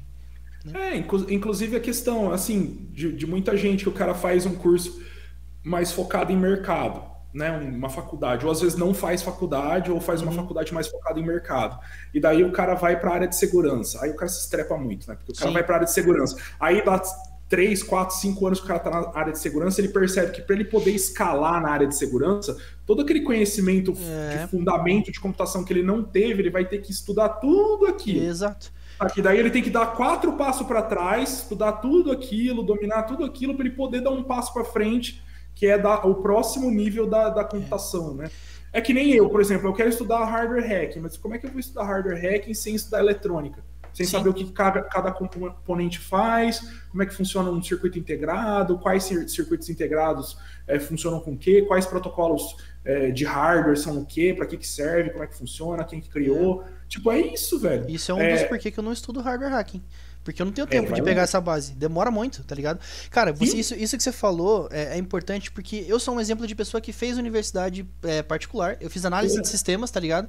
E não me deu base de um monte de coisa, mas me deu base pra outras coisas também. Então, só que assim, Sim. ó, você tem que fazer a tua faculdade servir pra alguma coisa. Se você quer terminar logo a faculdade e quer fazer análise de sistemas, por exemplo, pode fazer. Só que vai, Vai chegar uma hora. Só que daí, se você quiser estudar Buffer Overflow, por exemplo, você vai ter que estudar um pouquinho de assembly, você vai ter que entender como é que funciona a hardware, você vai ter que entender como é que funciona o sistema operacional, né? Porque, tipo, cara, é, hora- a tua carreira ela vai começar a evoluir, você vai ter que começar a estudar coisas que, se você fizer, por exemplo, ciência da computação, você vai ter que aprender um monte de coisa que você vai usar na, na- na- no hacking, só que isso é obrigatório na cadeira, você vai ter que estudar isso na, na, na grade. Então, você que tá pra decidir qual faculdade fazer, pensa nisso, mano. Ó, você tem dois cenários. Ou você é um duro que precisa ir logo pro mercado, aí recomendo você fazer uma faculdade que vai rapidão. tá Eu ligado? também, eu também. Eu concordo completamente com o que você tá falando. Só que se você tem tempo, pô, moro com meu pai, tenho tempo de estudar, posso fazer uma faculdade que, é- que, ah, muitas vezes é integral, né? Você pega a ciência da computação aí numa universidade federal, por exemplo, é integral. Uhum. Cara, é integral por quê? Porque você vai estudar o dia inteiro e você vai se ferrar de estudar, tá ligado? Então, tipo, Sim. se você tiver tempo, segue esse caminho. Cara, eu tive que trabalhar pra pagar minha própria faculdade. Então, É. tipo, eu, eu trabalhava em call center na época da faculdade, tá ligado? Então, tipo, antes de começar a trabalhar com, com, com segurança propriamente dito, com, antes, né, trabalhar com TI propriamente dito. É, então, cara, tipo, é, você, se você precisa, faz uma faculdade que vai te dar uma base, mas suga os professores também, cara. Você faz a faculdade, tá ligado? E, outra, e estuda em casa também, velho. É. Estuda e faz curso. E não, não faz só faculdade, não. Se você tiver tempo, cara, faz curso. Pega os caras que você acha legal aí, compra um curso, ou faz É, um mano. curso de graça no YouTube, ou e compra um livro e lê o livro, ou É. sei lá, se tipo, tem tanto conteúdo no YouTube, tem tanto Sim, conteúdo de graça, né, velho? Seja, tente ser o mais autodidata possível, tente sugar o máximo possível dos professores, tem disciplina que é um saco, eu sei, não, a gente tá no plano das ideias aqui, tem disciplina que você não vai. Eu nunca quis estudar engenharia de software, eu nunca vou estudar engenharia de software, por mais que eu me foda sem, sem, sabe, sem, sem, sem ter conhecimento nenhum disso, eu não vou estudar, mas é, é, leve em consideração que disciplinas de fundamentos de computação para a segurança da informação vão ser úteis, Uhum. uma hora ou outra vai ser útil para você. Fundamento de computação vai ser útil. Sim. Tá? E até aquelas matérias super chatas, por exemplo, relacionamento corporativo numa universidade particular. Ah, por que eu vou estudar isso se eu vou trabalhar com hacking, né? Só que daí você chega numa operação de Red Team, por exemplo, e você precisa entender um determinado processo corporativo para você conseguir comprometer a credencial de determinado usuário. Cara, se você não conhece um processo corporativo, como é que você vai se virar? Onde é que você poderia ter aprendido isso? Naquela aula chata de relacionamento corporativo, que o cara tava te ensinando a mandar um e-mail lá e você cagou para aquela aula. É só um exemplo, né? É, é, é, eu, eu entendo, cara. Assim, a gente tem que tentar extrair o máximo possível. Claro, a gente é ser humano, nem sempre a gente vai conseguir extrair, nem, nem sempre a gente tá bem para extrair todo o conhecimento possível. E É. uma máquina trabalhando a 100% o tempo todo vai ter mais desgaste também. A gente tem que levar isso em consideração. Mas Olha, assim, cara, faça o máximo. vira, vira remedinho Tem- depois, né? Remedinho, é isso. É. Cara, é assim, cara. Se, você tem um, motor a 10 mil giro ah, funcionando 24 horas por dia, vai desgastar mais rápido que um motor a mil giro, né? Funcionando duas horas por dia. É isso, infelizmente, cara. Mas Ah, é- mas aqui a gente tá dando dicas de, de como eu entrar pro mercado de segurança e não dicas de wellness, né? É. Cara, mas é assim, tudo volta para aquilo que a gente já falou em todos os outros podcasts anteriores aqui, a, a hora bunda cadeira. É isso que É. vai fazer toda a diferença. Seja na universidade particular, seja na universidade pública, seja sem universidade, seja qualquer coisa. Se você não tiver hora de bunda na cadeira estudando, nada Ah, vai, sim. vai para frente aí. Eu conheço cara ruim de universidade pública, e cara ruim de universidade particular, e cara bom de universidade particular e pública. É aí. Conheço, velho. ah, Não, não importa a faculdade, não, cara. É essa treta mesmo. Tem, tem cara excelente que não fez faculdade também, tem cara excelente que fez. Ah, cara, o que vai determinar teu futuro é você. Parece um negócio meio de, de coach, né? Motivacional, tá ligado? Motivacional. Mas, cara, é o tanto de tempo que você vai sentar. Numa... Outra dica top também: compra uma cadeira boa, velho. Né, mano? É essa fita mesmo. Você vai ficar muito tempo nela. Compra uma cadeira Faz- boa, velho. faz toda a diferença. Faz todo sentido É, você mano. ter uma cadeira boa. E, e- e, assim, no final das contas é isso, velho. Assim, só tipo se esforce, tenta se esforçar. Também, né? Não, não se esforça a ponto de querer se matar, mas tenta É. se esforçar, sabe? No Sim. máximo. É, faça exercício físico, beba bastante água, coma Pior- vegetais. Cara, Não, cara, mas mas é- no final das contas é isso mesmo, velho. Não, mas é porque- verdade. E quando a gente fica velho, as coisas param de funcionar, tá ligado? O corpo para de funcionar, você precisa comer, você precisa. tipo, pô, e quando a gente é adolescente, mano, dá pra viver de pizza energética, tá ligado? É, tipo, com, com- com 20, com 20 É. anos, você faz hackathon de uma semana com pizza e Red Bull. Sim, sim. Você tá de boa, velho. Né, Saca. hoje em dia, se eu beber, na, se eu beber muito, amanhã É eu, eu- de manhã eu acordo, parece que eu, que eu fui atropelado, que eu apanhei, tá ligado? Mas enfim, aí já estamos falando que a gente tá ficando velho, né? É, é, isso aí já é o. é o- já é cringe tips, já, esse. É. Cara, tips. mas é com relação a, a- a- ao começo. Então, acho que um resumo. eu Acho que o cara é. Se você produzir conteúdo, você vai ser Nossa. forçado a estudar. Então, eu Sim. acho que a dica-chave hoje aqui é produza conteúdo sem, Incrível. sem querer que as pessoas te contratem por isso. Produza conteúdo pra ajudar a comunidade. Isso vai fazer as portas se abrirem, vai fazer você estudar e você se desenvolver. É, e, produ- e produzir conteúdo vai fazer você absorver 90% mais do conteúdo que você É. estudou, porque você está produzindo conteúdo. Sim. É, inclusive tem pesquisas acadêmicas sobre isso, que tipo, ah, você lê, você absorve tanto, você escreve, você absorve tanto. E tipo, o fato de você ah, estudar para ministrar um conteúdo, para apresentar, faz com que você absorva aquele con- conteúdo de uma maneira absurda. exato. Sabe? Então a melhor maneira de você absorver conteúdo é ministrar o conteúdo. É Exato. dar aula daquilo. Dando aula daquilo, você vai apre- aprender assim um tanto absurdo daquele conteúdo, cara. É isso Você mesmo. pode ter cara. certeza. E, a- e essa aula não precisa necessariamente você ser professor de uma universidade, por exemplo, cara. Pega um grupo privado de amigos teus aí, cara. Falou, vamos fazer um grupo aqui. Cara, se quiser participar do nosso grupo, por exemplo, né? Toda quarta-feira a gente faz as palestras e o membro tem que palestrar, por exemplo. Procure comunidades onde você vai se encaixar e isso vai fazer sentido pra você. Porque uma simples discussão dentro de um grupo pode te fazer aprender muita coisa, cara. Porque às vezes você vê os caras discutindo, pô, não conheço esse termo aqui, vai pesquisa, tá ligado? Tipo, é, às vezes os caras podem estar tendo uma discussão sobre alguma coisa que, que vai ser relevante pra você na hora que você estiver estudando. Então, consuma comunidades, cara. De- é, se- não, não tem como você, eu- ao meu ver, né? Não tem como você ser um profissional de segurança sem você consumir comunidades, sem você ir em eventos, né? Sem você é, submeter palestras, sem você é, escrever conteúdo, publicar conteúdo, porque isso que vai fazer você crescer. Né? Ao meu Com ver. certeza. Com certeza. Você vai ter gente para te dar suporte e vai ter gente para te empurrar, sabe?